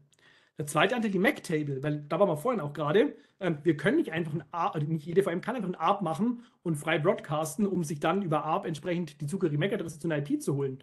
Wäre ja auch Quatsch, denn wir kennen diese Informationen bereits, denn jeder Host weiß schon von vornherein, welche VM welche MAC hat. Das Einzige, was wir nur irgendwie schaffen müssen, ist, wir müssen wieder ein gemeinsames Bild erzeugen für alle Transport Nodes. Welche VM mit welcher MAC ist über welche Tunnel-IP erreichbar, über welche Tunnel-Endpoint-IP. Und jetzt passiert genau das Gleiche. Jeder Host ermittelt erstmal für sich selbst, okay, bei mir läuft diese VM, hier diese IP, diese MAC-Adresse. Ich schreibe einfach mal auf, okay, ich weiß, bei mir läuft diese MAC-Adresse, MAC 1, also die VM, diese MAC-Adresse, äh, der, die MAC-Adresse der VM 1. Und ich selbst bin erreichbar als Tunnel-Endpoint über die 10, 20, 10, 11. Diese Informationen gebe ich weiter an den Manager. Und genau das Gleiche tun die anderen natürlich auch. Und jetzt sind wir genau beim Schritt 4, der hier gerade abgebildet ist. Die Manager, die Central Control Plane, konsolidiert diese Informationen, macht wieder eine Gesamttabelle draus und gibt die wieder an alle Hosts weiter. Und damit entsteht auch plötzlich ein Bild für alle Hosts, welche MAC-Adresse von welcher VM ist welcher IP erreichbar. Und damit haben wir eigentlich für zumindest für Layer 2, für Switching, haben wir damit eigentlich schon jetzt diese Informationen vorhanden. Denn das ist das, was wir brauchen. Wir wissen, MAC-Adresse zur IP-Adresse, was muss ich in den Ethernet-Frame adressieren, was muss ich reinschreiben, wenn ich eine VM XY erreichen möchte und über welche Tunnel-Endpoint-IP kann ich diese dann erreichen. Und last but not least, der ARP-Table. Das heißt, hier geht es jetzt noch einen Schritt weiter. Hier mache ich jetzt noch das gleiche, nur mit den IP-Adressen einer VM. Also ich schreibe wieder mit, jeder Host für sich am Anfang. Wenn ich eine VM einschalte, okay, ich weiß, diese virtuelle Maschine bei mir hat folgende IP. Ich weiß auch, welche MAC die hat. Und ich weiß, ich habe diese Tunnel Endpoint IP. Die Information gebe ich weiter an den Manager. Und ich denke, das Prinzip ist klar geworden. Genau das gleiche machen die anderen Hosts auch. Geben diese Information wieder weiter an die Central Control Plane. Die konsolidiert das Ganze wieder, schickt dieses Update, diese Information wieder an alle Hosts raus. Und ab dann haben eigentlich alle Hosts jetzt auch hier wieder ein gemeinsames Bild. Sie, sie kennen die MAC-Adressen, sie kennen die IPs der VMs und sie wissen, über welches Tunnel Interface IP, über welche, genau, welche Tab IP kann ich die jeweilige VM erreichen. Und hier auch hier sehen wir eben diese, diesen essentiellen kritischen Part des Central Control Plane. Diese ganze Verteilung der Informationen, welche MAC-Adressen leben, wo, über welchen Tunnel-IPs sind die erreichbar, läuft entsprechend über die Manager. Ist die Tab-IP ein extra WMK-Interface? Ja, ist es. Das wird automatisch angelegt wenn ich entsprechend äh, einen Prepare für NSX mache. Also wenn ich im NSX-Manager sage, ich möchte folgende Transport Nodes jetzt konfigurieren. Die Tunnel-Interface-IPs, die Ranges, die verwendet werden, kann ich natürlich auch fest, fest vorgeben kontrollieren bzw. konfigurieren. Also es ist nichts, dass sich jetzt hier, ähm, ja, vor allem in irgendeiner Form oder NSX einfach irgendwelche IPs ausdenkt, sondern die sind auch frei durch mich konfigurierbar. Routing läuft ein bisschen anders ab, denn, naja gut, jetzt haben wir gerade gelernt, wie kann Switching funktionieren. Routing brauche ich, da brauche ich ein bisschen mehr, denn je nachdem, wo ich hin will, ähm, reicht es ja nicht aus, dass ich im Zweifelsfall weiß, welche MAC-Adresse und welche IP-Adresse läuft über welches, über welche Tunnel Endpoint IP oder kann ich über welche Tunnel Endpoint IP reichen. Wenn ich routen möchte, gibt es grundsätzlich innerhalb von NSX zwei Arten von Gateways. Einmal das Tier 1 Gateway. Ein Tier 1 Gateway ist dafür da, Routing zwischen Segmenten zu ermöglichen. Heißt also, hier sehen wir es, ich habe hier eine, das jetzt ein Tier 1 Gateway und an diesem Tier 1 Gateway hängt dieses Segment blau, gelb und dunkelblau ist es. Segment ist gleichbedeutend übrigens mit ähm, IP-Segment, okay, oder mit Layer 2 ähm, Domain. Machen wir, IP, IP-Segment draus, das ist besser treffend. Und das äh, Tier 1 Gateway letztendlich macht nichts anderes, als zwischen diesen Segmenten intern zu routen. Das heißt, solange der Traffic nur innerhalb des Overlay-Netzwerks hin und her wandern muss, reicht mir ein Tier 1 Gateway. Wenn ich aber sage, ich muss in irgendeiner Form in die große weite Welt sprechen, dann reicht mir das ja nicht mehr. Ich meine, das ist schön, dass die ESX-Hosts untereinander über ihre Tunnel-Endpoint-IPs, über die Geneve-Tunnel in irgendeiner Form Traffic hin und her ähm, ficken können, aber ich brauche irgendeinen Uplink nach außen. Und genau der wird entsprechend ausgeprägt über sogenannte Tier Zero Gateways. Und Tier Zero Gateways sind Instanzen, die auf dann den NSX Edges laufen. Heißt also, wenn ich ein Tier 0 Gateway in irgendeiner Form erzeugen möchte, brauche ich zwingend automatisch auch sofort Edges, denn das sind die Instanzen, die dann überhaupt ähm, die Möglichkeit haben, über dynamische Routing-Protokolle zum Beispiel meine Anbindung nach außen an meine Routing-Infrastruktur vorzunehmen. Heißt also, was wir uns erstmal merken sollen, ist, Routing passiert in NSX eigentlich über zwei Arten von Gateways, Tier 0 und Tier 1. Tier 1 Gateway wird, kommt zum Einsatz bei Routing zwischen den Segmenten, East-West-Traffic. Tier 0 Gateway kommt zum Einsatz, wenn geroutet werden muss zwischen den Overlay-Netzwerken und der Auswählband VLAN Back-Netzwerken, also North-South. Genau, grundsätzlich kann ich natürlich dann diese unterschiedlichen Router miteinander verbinden. Das heißt, ein Tier 1 Gateway hat einen Uplink zum Tier 0 Gateway und das Tier 0 Gateway kann dann zum Beispiel BGP sprechen mit meinen physischen Routern um dann entsprechend die Routing-Informationen auszutauschen. Und ich habe natürlich auch die Möglichkeit zu sagen, hey, wenn ich hier neue Segmente anlege, bitte gib du diese Information automatisch ans T0-Gateway weiter und er soll über BGP diese Routen auch entsprechend direkt wieder ins physische Netzwerk weitergeben. Das heißt, ich habe hier eine End-to-End-Weiterleitung oder eine End-to-End-Verteilung der Routing-Informationen. Das heißt, dass im besten Fall eigentlich auch, wenn ich ein Segment anlege, ähm, sämtliche Informationen, die notwendig sind, um das Segment dann wirklich auch zu erreichen von außen, sofort automatisiert durch die Infrastruktur über Tier 1, Tier 0 in meine physische Welt gelangt. So, kurz auf die Zeit geguckt. Okay, ich sehe schon. Da muss ich vielleicht ein bisschen Gas geben, ansonsten crash ich doch noch unsere Mittagspause. Genau, Routing habe ich gerade angesprochen. Wie funktioniert das Ganze? Naja, grundsätzlich ist interessant zu sagen, dass eigentlich Routing implementiert ist über sogenanntes Distributed Routing. Das heißt, jeder E6E-Host hat eigene Module, die im Kernel laufen, die das Routing also direkt intern vornehmen. Das heißt, wo immer entschieden wird, naja, ist denn das Ziel, das angesprochen werden muss, im besten Fall vielleicht sogar bei mir gerade selbst, also laufen die beiden VMs, die gerade in unterschiedlichen Segmenten sind, im besten Fall bei mir selbst auf dem gleichen Host, dann ist es einfach. Wenn ich sage, nee, die laufen aber auf einem anderen Host, naja gut, dann ist das Tier 1 Gateway auch in der Lage zu sagen, okay, dann muss ich das Ganze über Geneve an die jeweilige Tunnel Endpoint IP schicken. Oder wenn ich feststelle, ich kann es überhaupt nicht erreichen, es muss nach außen, dann schicke ich das Ganze ans Tier 0 Gateway. Und auch hier das Tier 0 Gateway, ähm, was auf den Edges läuft, besteht eigentlich, wenn man es genau betrachtet, aus zwei Anteilen, dem Distributed Router und dem Service Router. Äh, und die spielen zusammen, um ähm, diesen Routing-Vorgang vorzunehmen. Ist jetzt hier nicht so ersichtlich, aber man kann sich mal den Service Router lassen wir jetzt einfach mal außen vor, ganz bewusst. Wir stellen uns einfach vor, es gibt auf jedem E6E-Host definitiv eben auch noch einen Tier 0 Distributed Router und der kümmert sich dann darum, dass das Paket, was eben aus, aus dem Overlay raus muss in die physische Welt, dass das dann entsprechend über die Edges in die physische Welt geleitet wird. Was sind die Edges?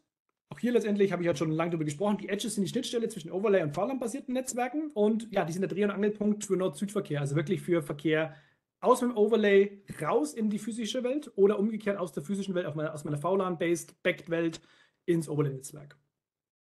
Gleichzeitig sind sie auch die Plattform für verschiedene Services, die ich eigentlich auf, den Transport Nodes so nicht verteilen kann. Werden zum Beispiel zu den NAT Routing, WRF, VPN. Das sind alles Dienste, die kann ich nicht im Hypervisor verteilen. Die laufen dann wirklich wieder in Abhängigkeit der Konfiguration auf den Edge Nodes und sind da letztendlich eigentlich dann beheimatet.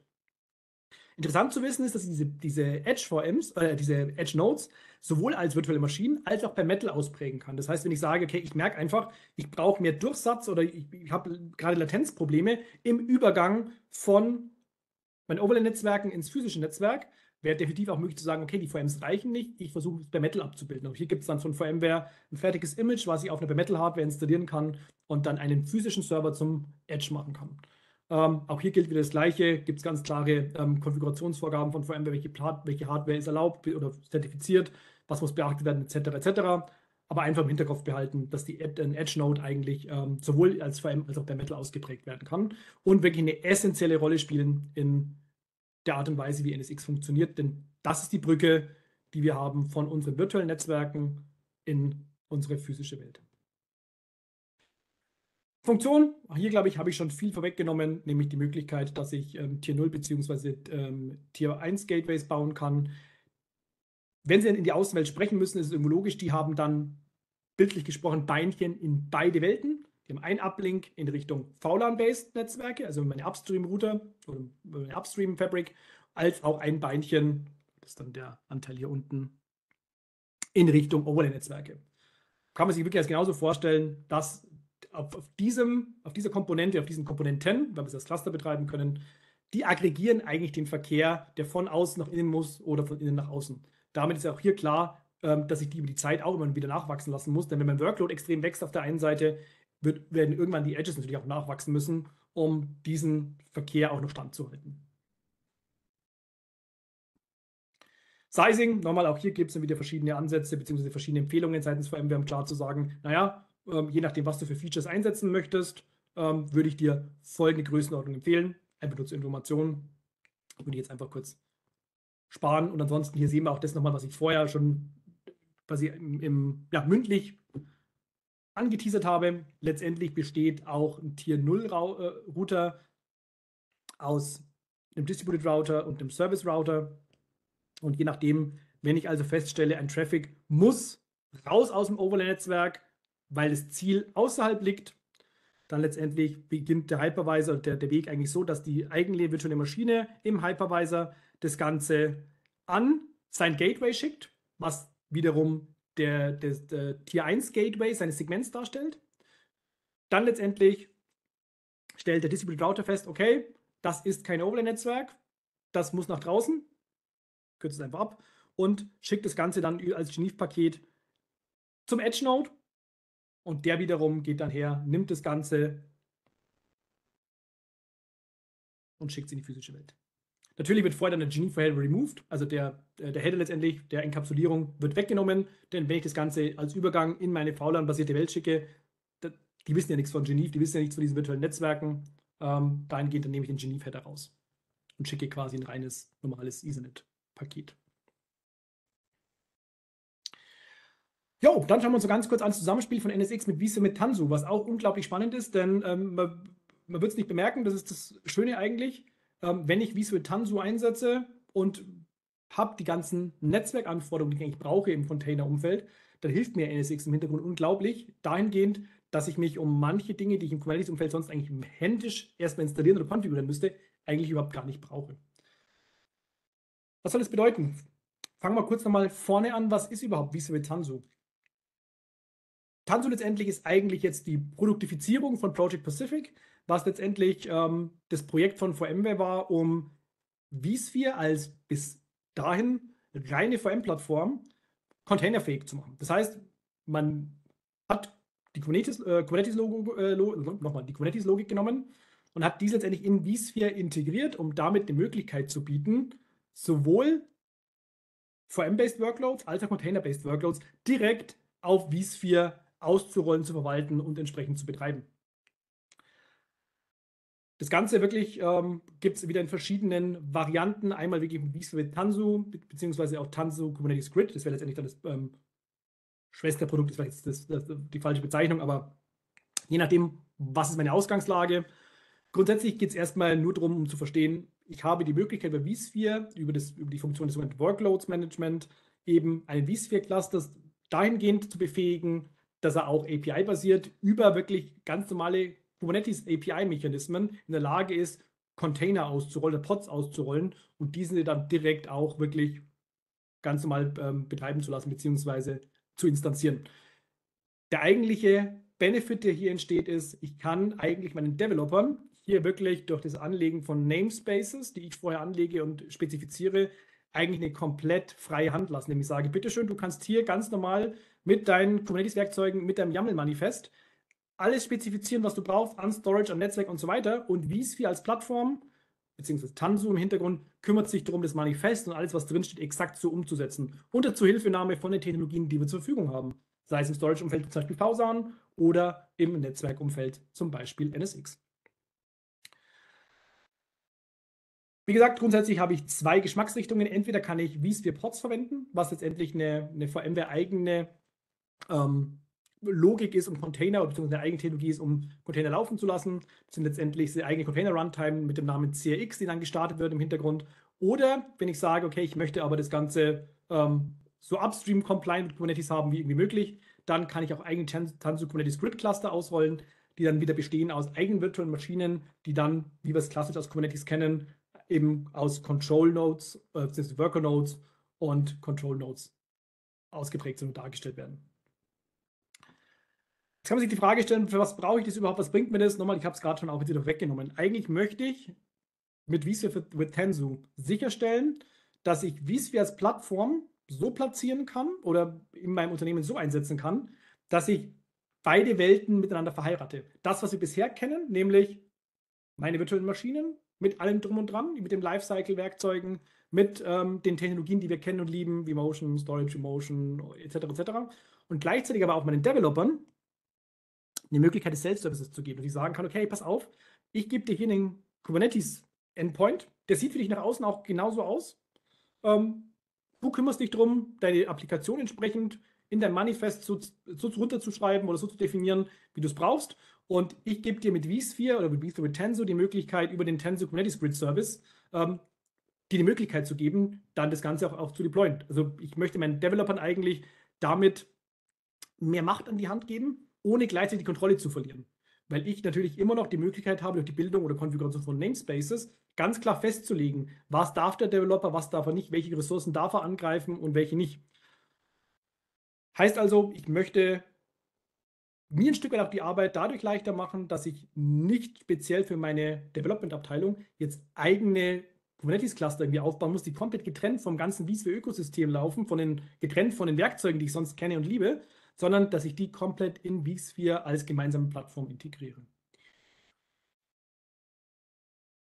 Das ganz kurz nochmal zum Hintergrund, was ist vSphere Tensor? Und jetzt kann man sich die Frage stellen, ja, und wo spielt denn hier jetzt NSX überhaupt eine Rolle? Naja, irgendwo logisch. Auf der einen Seite Netz, auch Container brauchen irgendwo Netzwerkkonnektivität und im besten Fall sollen sie auch mit Security Services abgesichert werden.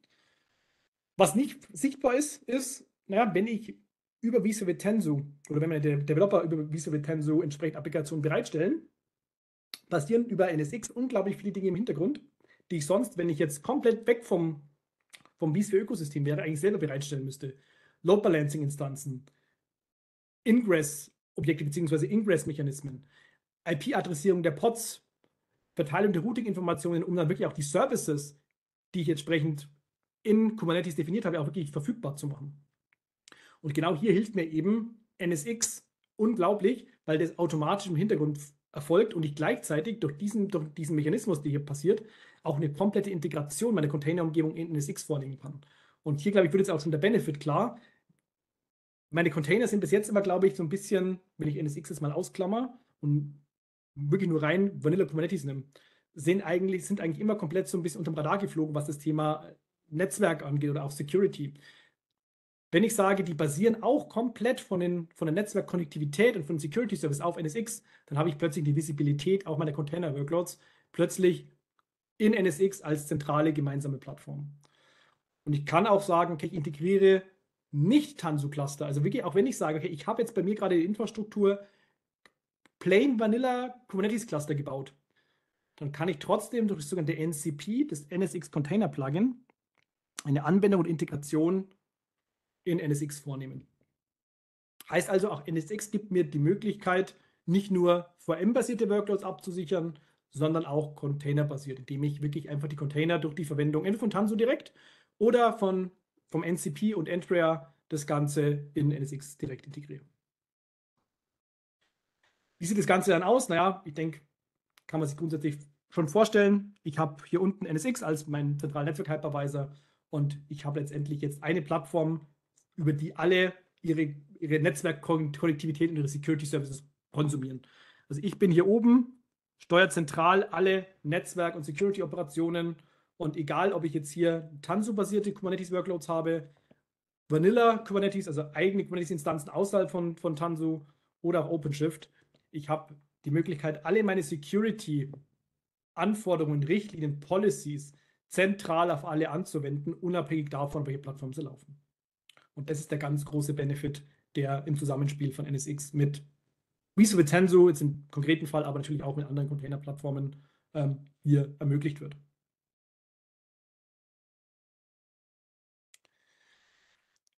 Genau. Ähm, vor allem das Thema Load Balancing spielt ja wirklich im, im Bereich von ähm, Kubernetes eine unglaublich große Rolle. Auch hier gibt uns eben NSX zwei Load Balancer gerade in die Hand. Der eine ist der ähm, Integrated Load Balancer, der jetzt dann abgekündigt wird, äh, bereits zumindest als Deprecated ähm, entsprechend deklariert worden ist, als auch der neue, der NSX Advanced Load Balancer auf Basis von AV. Ähm, AV Networks, auch ein Zukauf von VMware vor zwei Jahren, drei Jahren. Auch hier müsst ihr jetzt wieder lügen, aber grundsätzlich einfach hier, um es schon mal zu hören, NSX selber bringt in Zukunft den neuen NSX Load Balancer mit, den ALB, den Advanced Load Balancer auf Basis von AVI.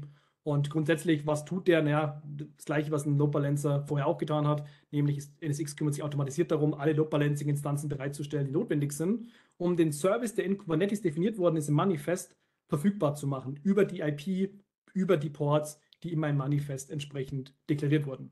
Und wenn ich, mir, wenn ich dann denke, dass ich das sonst eigentlich alles selber hätte machen müssen, ist es ein unglaublich großer Vorteil.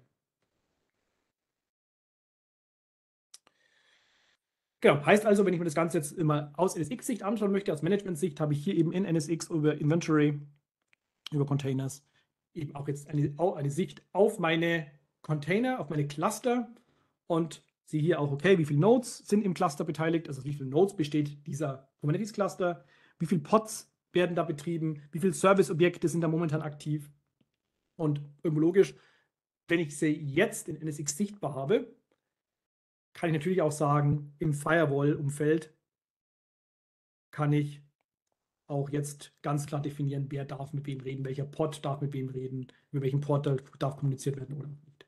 Das ist auch eben dieser ja, unglaublich großer, unglaublich großer Vorteil und Mehrwert, der entsteht. Ich habe nicht nur eine Visibilität in meine VMs, sondern jetzt auch in meine Container, egal auf welcher Plattform die laufen, ob die in Tanzu laufen, in Red, in OpenShift oder in einem Vanilla Kubernetes mit Entry. Das Referenzdesign nochmal, so kann es insgesamt aussehen, würde ich jetzt einfach kurz außen vor lassen, habe ich glaube ich jetzt schon ähm, an vielen Stellen ähm, zumindest so standardmäßig ein bisschen angekratzt. Wichtig sind die Komponenten eigentlich hier unten. Ich habe letztendlich meine virtuellen Netzwerke den Advanced Load Balancer und ich habe eben die verschiedenen Komponenten, die ich auf Basis von Tanzu mit einsetzen kann, um sowohl security-seitig entsprechend meine Policies durchzusetzen, als auch das Thema Authentifizierung mit Pinipad zum Beispiel umzusetzen, um in irgendeiner Form auch ähm, Logs bzw. Ähm, Monitoring betreiben zu können. Das letztendlich ist aus Sicht von allem eine Referenzarchitektur, die man potenziell so anstreben kann, dass ich sage, ich habe einen Kubernetes Grid und der letztendlich zieht sich aus allen Ecken des VMware-Portfolios die notwendigen Dienste, um A, Netzwerkvirtualisierung perfekt konsumieren zu können, um Security zu implementieren, als auch Sichtbarkeit der Workloads über zum Beispiel Tanzu Observability zu ermöglichen. Und natürlich auch im Service Mesh, dass ich sage, ich definiere, welche Services dürfen überhaupt wie miteinander reden, was tun die überhaupt, etc. etc. So, NSX Firewalling, auch noch ein interessantes Thema. Ähm, wie liegt in der Zeit? Okay, ich sehe schon, könnt, ja, können wir hin. Vielleicht überziehe ich ein bisschen, das muss ich vielleicht schon vorweg schicken, aber ich verspreche, wir haben es bald. Ich hoffe, es ist trotzdem noch interessant, zumindest mal die verschiedenen ähm, Einzelteile oder Aspekte von, von NSX ein bisschen zu betrachten. Grundsätzlich, warum interessiert mich das Thema Firewalling überhaupt? Ich denke, da brauche ich Ihnen nichts erzählen. Sie alle sind wahrscheinlich wirklich tagtäglich mit dem, der, der, dem Betrieb konfrontiert, sind mit Sicherheitslücken konfrontiert, wo in irgendeiner Form die Notwendigkeit besteht, zu gucken, wie kann ich besser absichern, wie kann ich es möglich machen, dass ich vielleicht nicht wirklich jedem, jeder Attacke oder jeder Softwarelücke hinterherlaufen muss, wie kann ich mich selber besser abschirmen. Ähm, und hier letztendlich war bisher immer wenn man den Zero Trust Ansatz, der jetzt gerade ganz stark immer forciert wird, mal außen vor lässt, war immer eigentlich so die, der Gedanke, okay, es gibt einmal das böse externe Netzwerk, wie das böse Internet, und es gibt das interne Netzwerk und das ist sicher, das ist gut, da brauche ich mir jetzt nicht viel Gedanken machen, da ist alles safe. Das Einzige, was in irgendeiner Form zwischen beiden Welten steht, ist meine Firewall und die regelt es schon. Da, die konfiguriere ich einmal sauber, dann passt es schon und gut ist es. Was wir aber, glaube ich, bei allem mehr oder weniger schmerzlich, entweder, also hoffentlich nicht selbst gelernt haben, aber beobachtet haben, über die verschiedenen Cyberattacken und, und sonstigen Glitches, die es gab, dass inzwischen eigentlich die Bedrohung nicht mehr irgendwie von außen kommt, im Sinne von jemand hackt sich durch die Firewall oder irgend sowas, was komplett irrsinnig ist, ähm, sondern die eigentliche Gefahr kommt eher von innen. Nämlich die Tatsache, dass ich in meinem Netzwerk eventuell ja, Angriffsflächen habe, die von innen Angriffsflächen öffnen, um dann von außen Attacken durchzuführen. Heißt also, ich muss mir ein Stück weit überlegen, vielleicht ist es gar nicht so, dass ich pauschal sagen kann, extern ist böse, intern ist gut. Vielleicht soll ich generell sagen, ich vertraue nicht zu niemandem und ich versuche einfach auch meine internen Services, obwohl sie intern sind, so abzuschotten, dass nur die Kommunikation überhaupt erlaubt ist, die essentiell notwendig ist und ich nochmal über Mechanismen, die an den, dem Workload selbst hängen, ähm, mir, mir eine Möglichkeit geben, genauer anzuschauen, was passiert denn da eigentlich. Und genau das ist so die Grundlage des Zero Trust Ansatzes, also zu sagen, okay, nur weil es intern ist, ist es nicht automatisch sicher. Ich überlege mir, wie kann ich denn meine, meine Applikation vielleicht noch granularer absichern. Und genau hier sind wir wieder eigentlich beim Punkt der Zero Trust äh, Denke, beziehungsweise auch der Microsegmentation. Dass ich also sage, hey, wenn ich schon einen Netzwerk-Hypervisor habe, auf dem alle aufsetzen, dann verwende ich doch auch die Firewalling-Techniken, die da sind und setze direkt am Workload an. Ich gehe also nicht mehr her und habe nur eine zentrale Stelle, an der ich reglementiere, sondern ich reglementiere da, wo der Traffic entsteht, nämlich an den Workload selbst. Und genau das ist auch die Idee hinter dem NSX Firewalling, zu sagen, okay, wir sind ja eh eigentlich an der Quelle. Wir sitzen an den virtuellen Interfaces der jeweiligen Ports oder der jeweiligen VMs. Lasst uns doch hier auch an der Stelle überlegen, wie können wir Security so weit dynamisieren, ähm, dass es der Default wird. Dass ich im besten Fall auch wirklich im, im, operativen Geschäft gar nicht mehr drüber nachdenken muss, sondern schon wirklich, sobald die neue Firmware Workload deployed wird, es vielleicht im besten Fall schon Standardregelwerk gibt, was automatisch einfach angewendet wird. Und genau hier letztendlich setzt das NSX Firewalling an oder bringt das NSX Firewalling einen großen Benefit. Ich kann also sagen, okay, ich reglementiere den Traffic da, wo er entsteht, nämlich an den VMs, an meinen virtuellen Workloads. Und ich möchte eigentlich sicherstellen, dass über den gesamten Lifecycle meines Workloads die Security immer mit sich mit verändert. Dass ich also sagen kann, ich passe eine Policy an, weil ich sage, ich muss irgendwo nachhärten, dann mache ich das an einer Stelle ein einziges Mal und automatisch sind alle Workloads sofort dann mit dieser neuen Richtlinie, mit dieser neuen Einschränkung versehen. Und das Geniale ist, da NSX ja am vCenter hängt, habe ich unglaublich viel Einblick auf die Eigenschaften einer VM. Ich muss nicht nur oder nicht wie früher hergehen und sagen, ich kann nur auf Basis der IP in irgendeiner Form entscheiden, was denn erlaubt sein soll und nicht erlaubt sein soll. Denn der IP-Adresse kann sich ändern, muss man auch ehrlich sein. Und dann gelten die Regeln im schlimmsten Fall nicht mehr, sondern ich habe die Möglichkeit, eben auf Basis von Text, auf Basis der VM als Gesamtobjekt, auf Basis ähm, des Namens der VM, hier wirklich einfach standardmäßig dynamisch Regeln anzuziehen. Heißt bei NSX Dynamic Group Inclusion und ich habe hier eben einfach als Beispiel die Möglichkeit, über verschiedenste Eigenschaften zu entscheiden, was möchte ich oder über welchen Weg soll eine VM, kann natürlich auch ein Container und Pod sein, in eine Gruppe kommen und welche Firewall-Regeln sollen dafür gelten. Und ich kann hier kann zum Beispiel Regeln formulieren und sagen, Virtual Machine Tag equals Web. Würde bedeuten, alle virtuellen Maschinen in meinem vCenter, die das Tag Web haben, würden automatisch eine gewisse Policy zugewiesen bekommen in NSX und es würden bestimmte Regeln gelten. Und das ist genau die Denke, glaube ich, wo NSX mir auch unglaublich helfen kann, weil ich durch genau sowas, also Tag ist jetzt nur eine, ein Beispiel dafür, dass ich eben sagen kann, okay, ich muss eigentlich Security auch zu einem Automatismus machen. Nicht, dass jemand dran denken muss im Sinne von, oh, ich muss noch dran denken, den in die Firewall-Gruppe aufzunehmen oder oh, ich muss noch dran denken, ein Ticket zu eröffnen, sondern ich lege den Workload an und der Workload kümmert sich selbst darum, entsprechend in eine passende Gruppe zu kommen oder in, ähm, ein, ähm, in ein Firewall-Regelwerk zu kommen, was zumindest eine Grundhärtung vornimmt. Und wenn ich das schon habe, habe ich schon, glaube ich, schon unglaublich viel gewonnen, weil dadurch ist sichergestellt, dass eigentlich meine Workloads alle schon mal einem gemeinsamen Standard folgen. Dass ich dann natürlich pro Workload nochmal unterscheiden muss und sagen muss, ja, aber die braucht ein bisschen mehr oder die muss hier noch hin kommunizieren. Vollkommen klar. Aber ich glaube, so, so eine gemeinsame, eine gemeinsame Baseline zu definieren und die entsprechend dynamisch einfach wirklich anwendbar zu machen, in der Form, dass ich selbst als vSphere-Admin da gar nichts mehr tun muss, weil ich einfach nur das Text setze und damit ist für mich die Sache erledigt, ist, glaube ich, ein unglaublich mächtiges Werkzeug. Genau.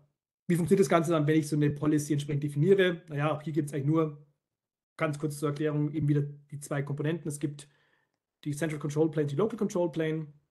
Und wenn ich entsprechend Regelwerke hier über die GUI oder REST API basiert, wie auch immer, in den NSX Manager Cluster oder auf einen Manager einbringe, werden diese Regelwerke entsprechend dann in die passenden Objekte und Regeln angewendet und dann auf die LCPs verteilt. Was will ich damit sagen? Jede Änderung, die ich vornehme, gilt sofort für alle Workloads auf den jeweiligen Transport Nodes. Und das ist auch ein unglaublich großer Vorteil. Ich kann das wirklich, wirklich in, in, in ja, Sekunden eigentlich wirklich Netzwerk ähm, vornehmen, ohne dass ich dafür jeden einzelnen Workload betrachten oder anfassen muss.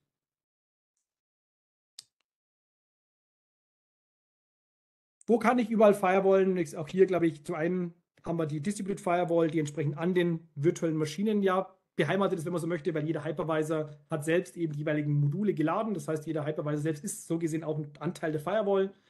Und ich habe aber gleichzeitig auch die Möglichkeit zu sagen, an den Gateways, also an den Tier 1 oder Tier 0 ähm, Gateways, setze ich auch nochmal Firewalling ein, also um den Übergang von Overlay in VLAN-Backed oder in mein normales Netzwerk zu steuern und zu, äh, zu reglementieren. Und ich kann gleichzeitig auch an diesen Stellen auch nochmal externe Services entsprechend mit einsetzen. Ich kann sagen, hier zum Beispiel habe ich jetzt einen Drittanbieterhersteller, ähm, wo ich IDs, IPs mache. Ich sage zum Beispiel, ich habe hier eine Trend Micro oder was auch immer, ähm, die nochmal den Traffic dann bekommen und hier auch nochmal Analyse fahren können, um IDs, IPs zu machen.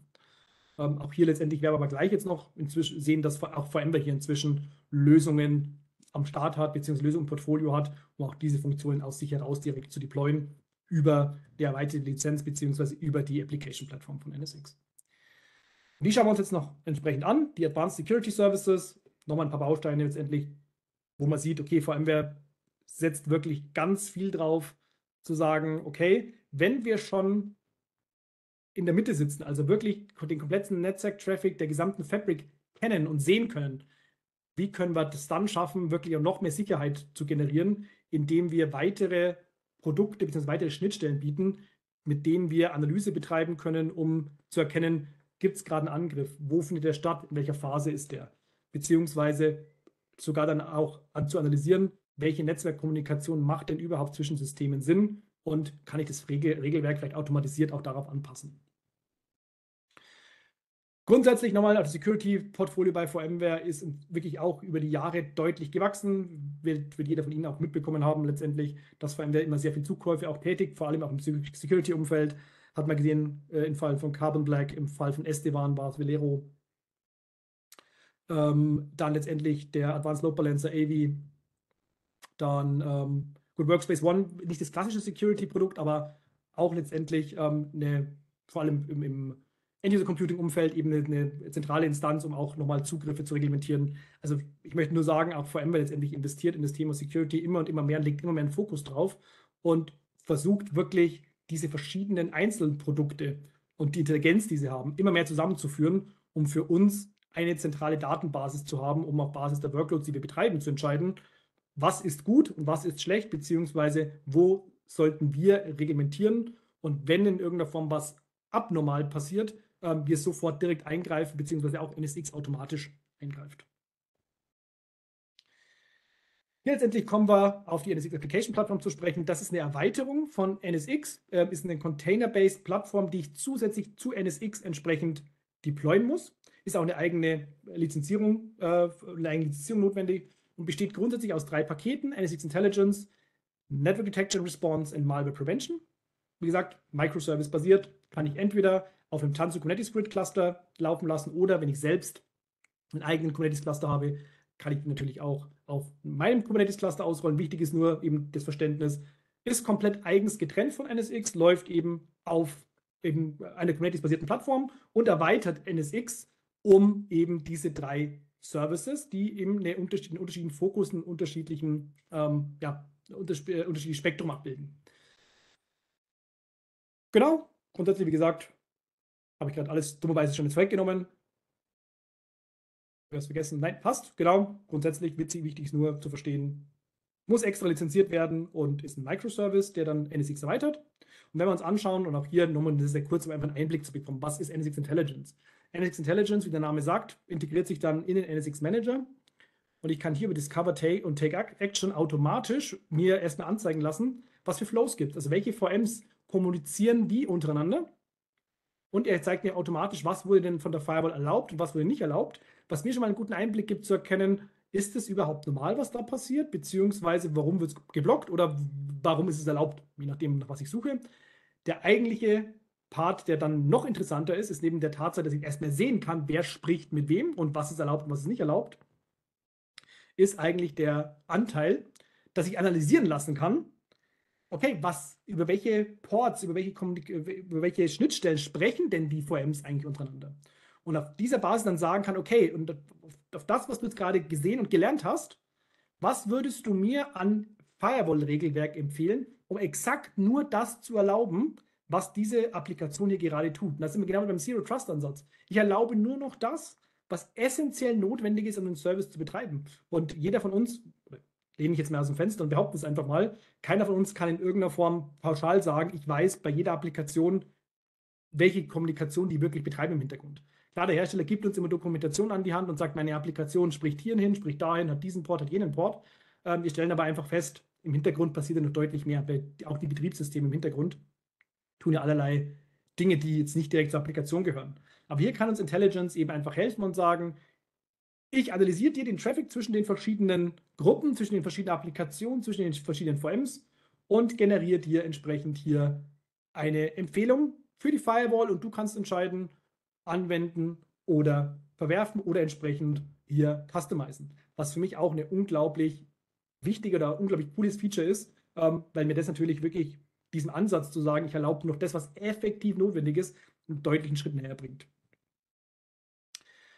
Dann Network Detection Response. Ähm, hier letztendlich kann man sagen, haben wir ähm, den Fall, dass im NSX Detect, äh, Network Detection Response eigentlich sich aus verschiedenen Ereignisquellen bedient, diese zentral aufnimmt und über den Cloud Connector an die NSX Analyzer Cloud schickt. Das heißt, hier nutze ich letztendlich einen Cloud-Service bei VMware. Das heißt, ich brauche hier auch wirklich eine, äh, eine entsprechende Verbindung, meine Application-Plattform über, ähm, also übers Internet zur ähm, Analyzer Cloud von VMware und diese Analyzer Cloud gibt mir dann eben die Möglichkeit, auf Basis der Informationen und Events, die ich jetzt hier eingekippt habe, ähm, zu entscheiden, was ist das? Ist das Malware? Ist das Suspicious Traffic? Also mir einfach hier zentral eine, eine Plattform zu geben, die mir dabei hilft, zu analysieren, was ist das, was ich hier sehe.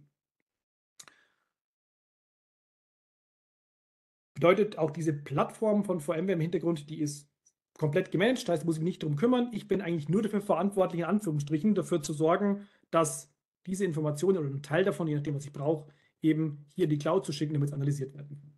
Natürlich kriege ich dann auf Basis der Cloud dann eine Rückmeldung.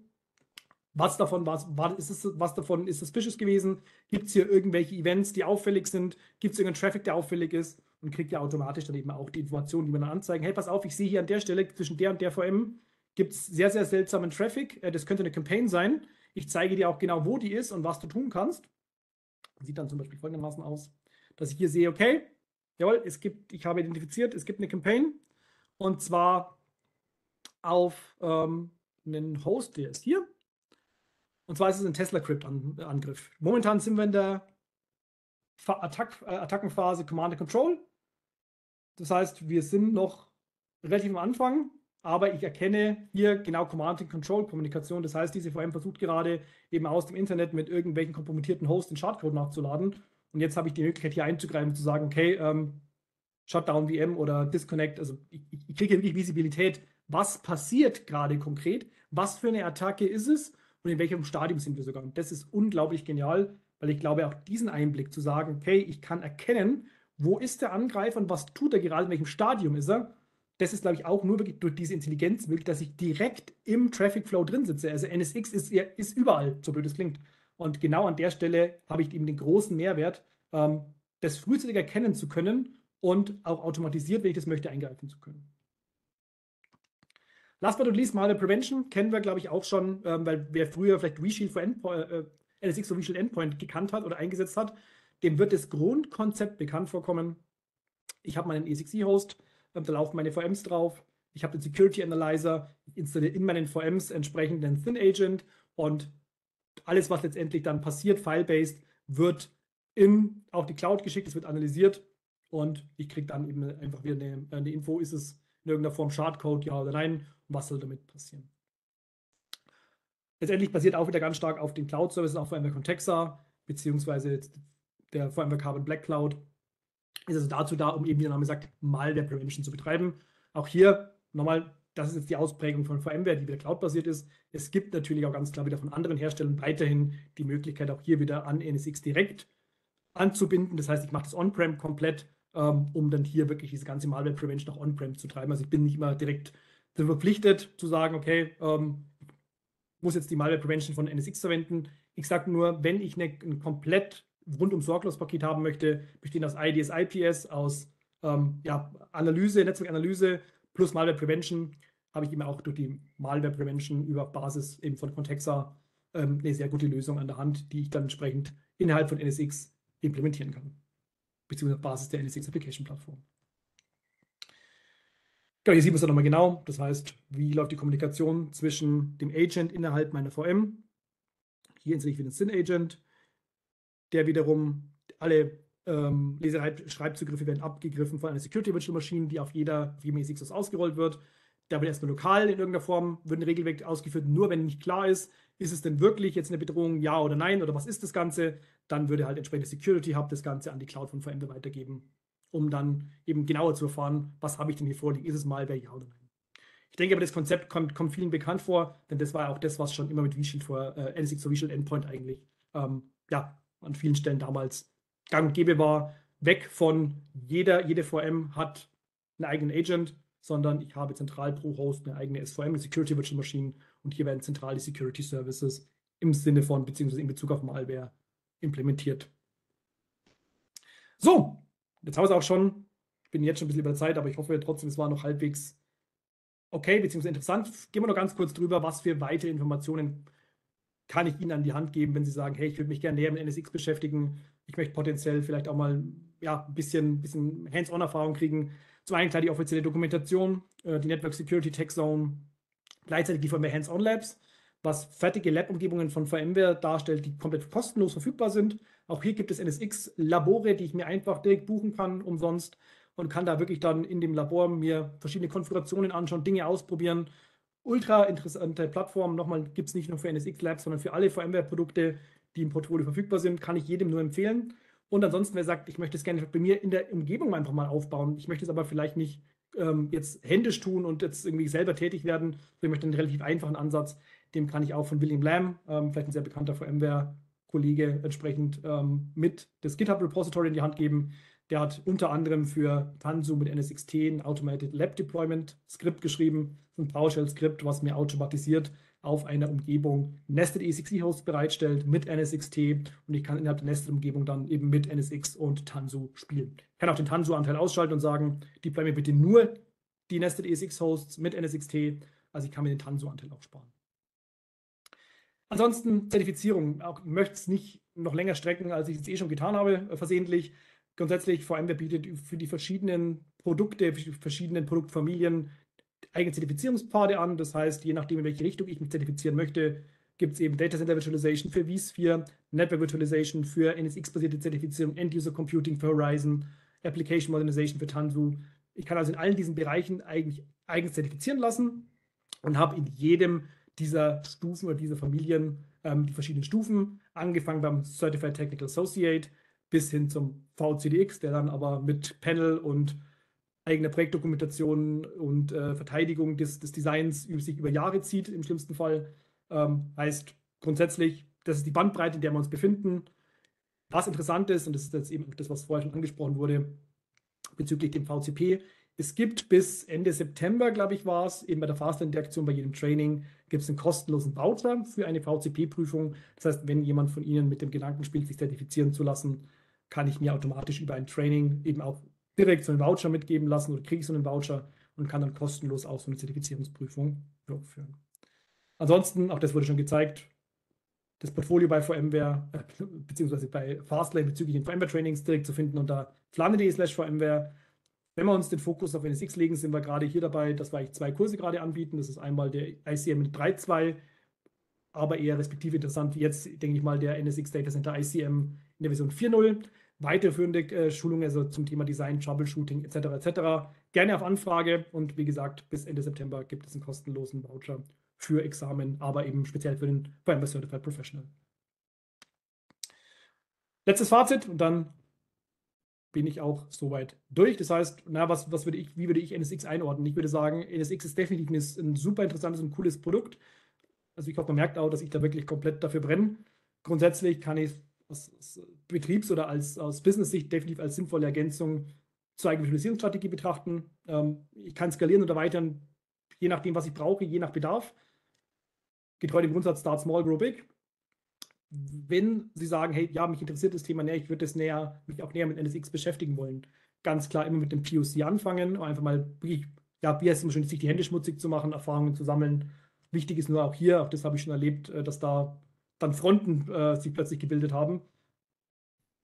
Wenn es getrennte Teams, getrennte Teams gibt zwischen Netzwerk, der Netzwerkverwaltung und der Virtualisierung, hier bitte den Schulterschluss suchen. Das, ein NSX-Projekt kann nur erfolgreich sein, wenn beide Seiten A, das Ziel haben, das implementieren zu wollen und da Hand in Hand arbeiten. Das ist definitiv der Schlüssel zum Erfolg. Wenn man versucht, jetzt irgendwie aus Virtualisierungssicht zu sagen, hey, wir, wir, wir versuchen jetzt die Netzwerke irgendwie auszuboten, indem wir uns selber unser eigenes Ding machen, kann ich nur aus Erfahrung sagen, das gibt einfach nur Reibungspunkte, die, ja, die eigentlich nicht das, das darstellen sollen und nicht das, das tun wollen, was, was wir eigentlich erreichen wollen, sondern wir möchten ja eigentlich hier einen Mehrwert schaffen für uns im Betrieb und natürlich am Schluss für unser Business. Ansonsten, last but not least, auch hier ist NSX genial, definitiv, aber Netzwerkvirtualisierung auch NSX ist nicht der heilige Gral. Also ich kann nicht dadurch Schulden, die ich in der Vergangenheit irgendwo aufgebaut habe, dadurch wettmachen, dass ich sage, ich setze Netzwerkvirtualisierung drauf. Sondern ich habe damit eine Möglichkeit, wirklich nochmal an vielen Stellen mein Netzwerkdesign zu überdenken und nochmal vielleicht, vielleicht skalierbarer und zukunftssicherer oder zumindest flexibler aufzustellen. Aber ich sollte diese Technik immer sehen als Werkzeug, um einfach meine Infrastruktur auf die Anforderungen des Betriebs anzupassen. Denn darum geht es am Schluss. Ich meine, wir machen ja nicht Netzwerkvirtualisierung oder auch Computervirtualisierung nicht der Virtualisierungswillen, sondern weil wir dadurch wirklich eigentlich Mehrwert schaffen wollen. Entweder operativ, technisch oder natürlich auch aus einem Effizienzansatz heraus. Von daher hier nicht davon ausgehen, dass NSX alle Probleme löst, denn wie wir auch aus vSphere definitiv wissen, Virtualisierung, egal in welchem Infrastrukturlayer, kommt nie ohne den zusätzlichen Overhead an Komplexität. Alles andere wäre an der Stelle ein bisschen zu viel des Guten, beziehungsweise wer einfach nicht der Wahrheit entsprechen. Okay, damit bin ich offiziell am Ende. Ich habe acht Minuten überzogen, tut mir leid. Ich hoffe, dass es trotzdem interessant war, dass ja vielleicht viele, viele Dinge einfach ja für Sie dabei waren, wo Sie sagen, hey cool, möchte ich mir im Nachfeld mal nochmal anschauen, äh, möchte ich mir vielleicht nochmal näher, äh, näher drüber nachdenken oder nochmal tiefer in irgendeiner Form einsteigen. Wir hätten jetzt nochmal Zeit für Fragen und Antworten. Wenn es was gäbe, sehr gerne. Ansonsten natürlich auch im Nachgang noch, gesagt, über meine E-Mail-Adresse, auf die wir hier einfach kurz rein Vielen Dank, freue mich, wenn es interessant war. Genau, ich, habe, ich hoffe, dass man einfach hier viel mitnehmen konnte, einfach vielleicht Impulse mitnehmen konnte ähm, für die Zukunft. Und wenn es keine Fragen mehr gibt, dann kann ich wirklich nur noch sagen, vielen, vielen Dank fürs Durchhalten, vielen, vielen Dank fürs Dabeisein. Hat mir wirklich unglaublich Spaß gemacht und ja, ich würde sagen, vielleicht auf bald. Eu, Ihnen einen schönen Tag und äh, ja, haben Sie sich wohl, hätte ich gesagt. Bis dann. Tschüss.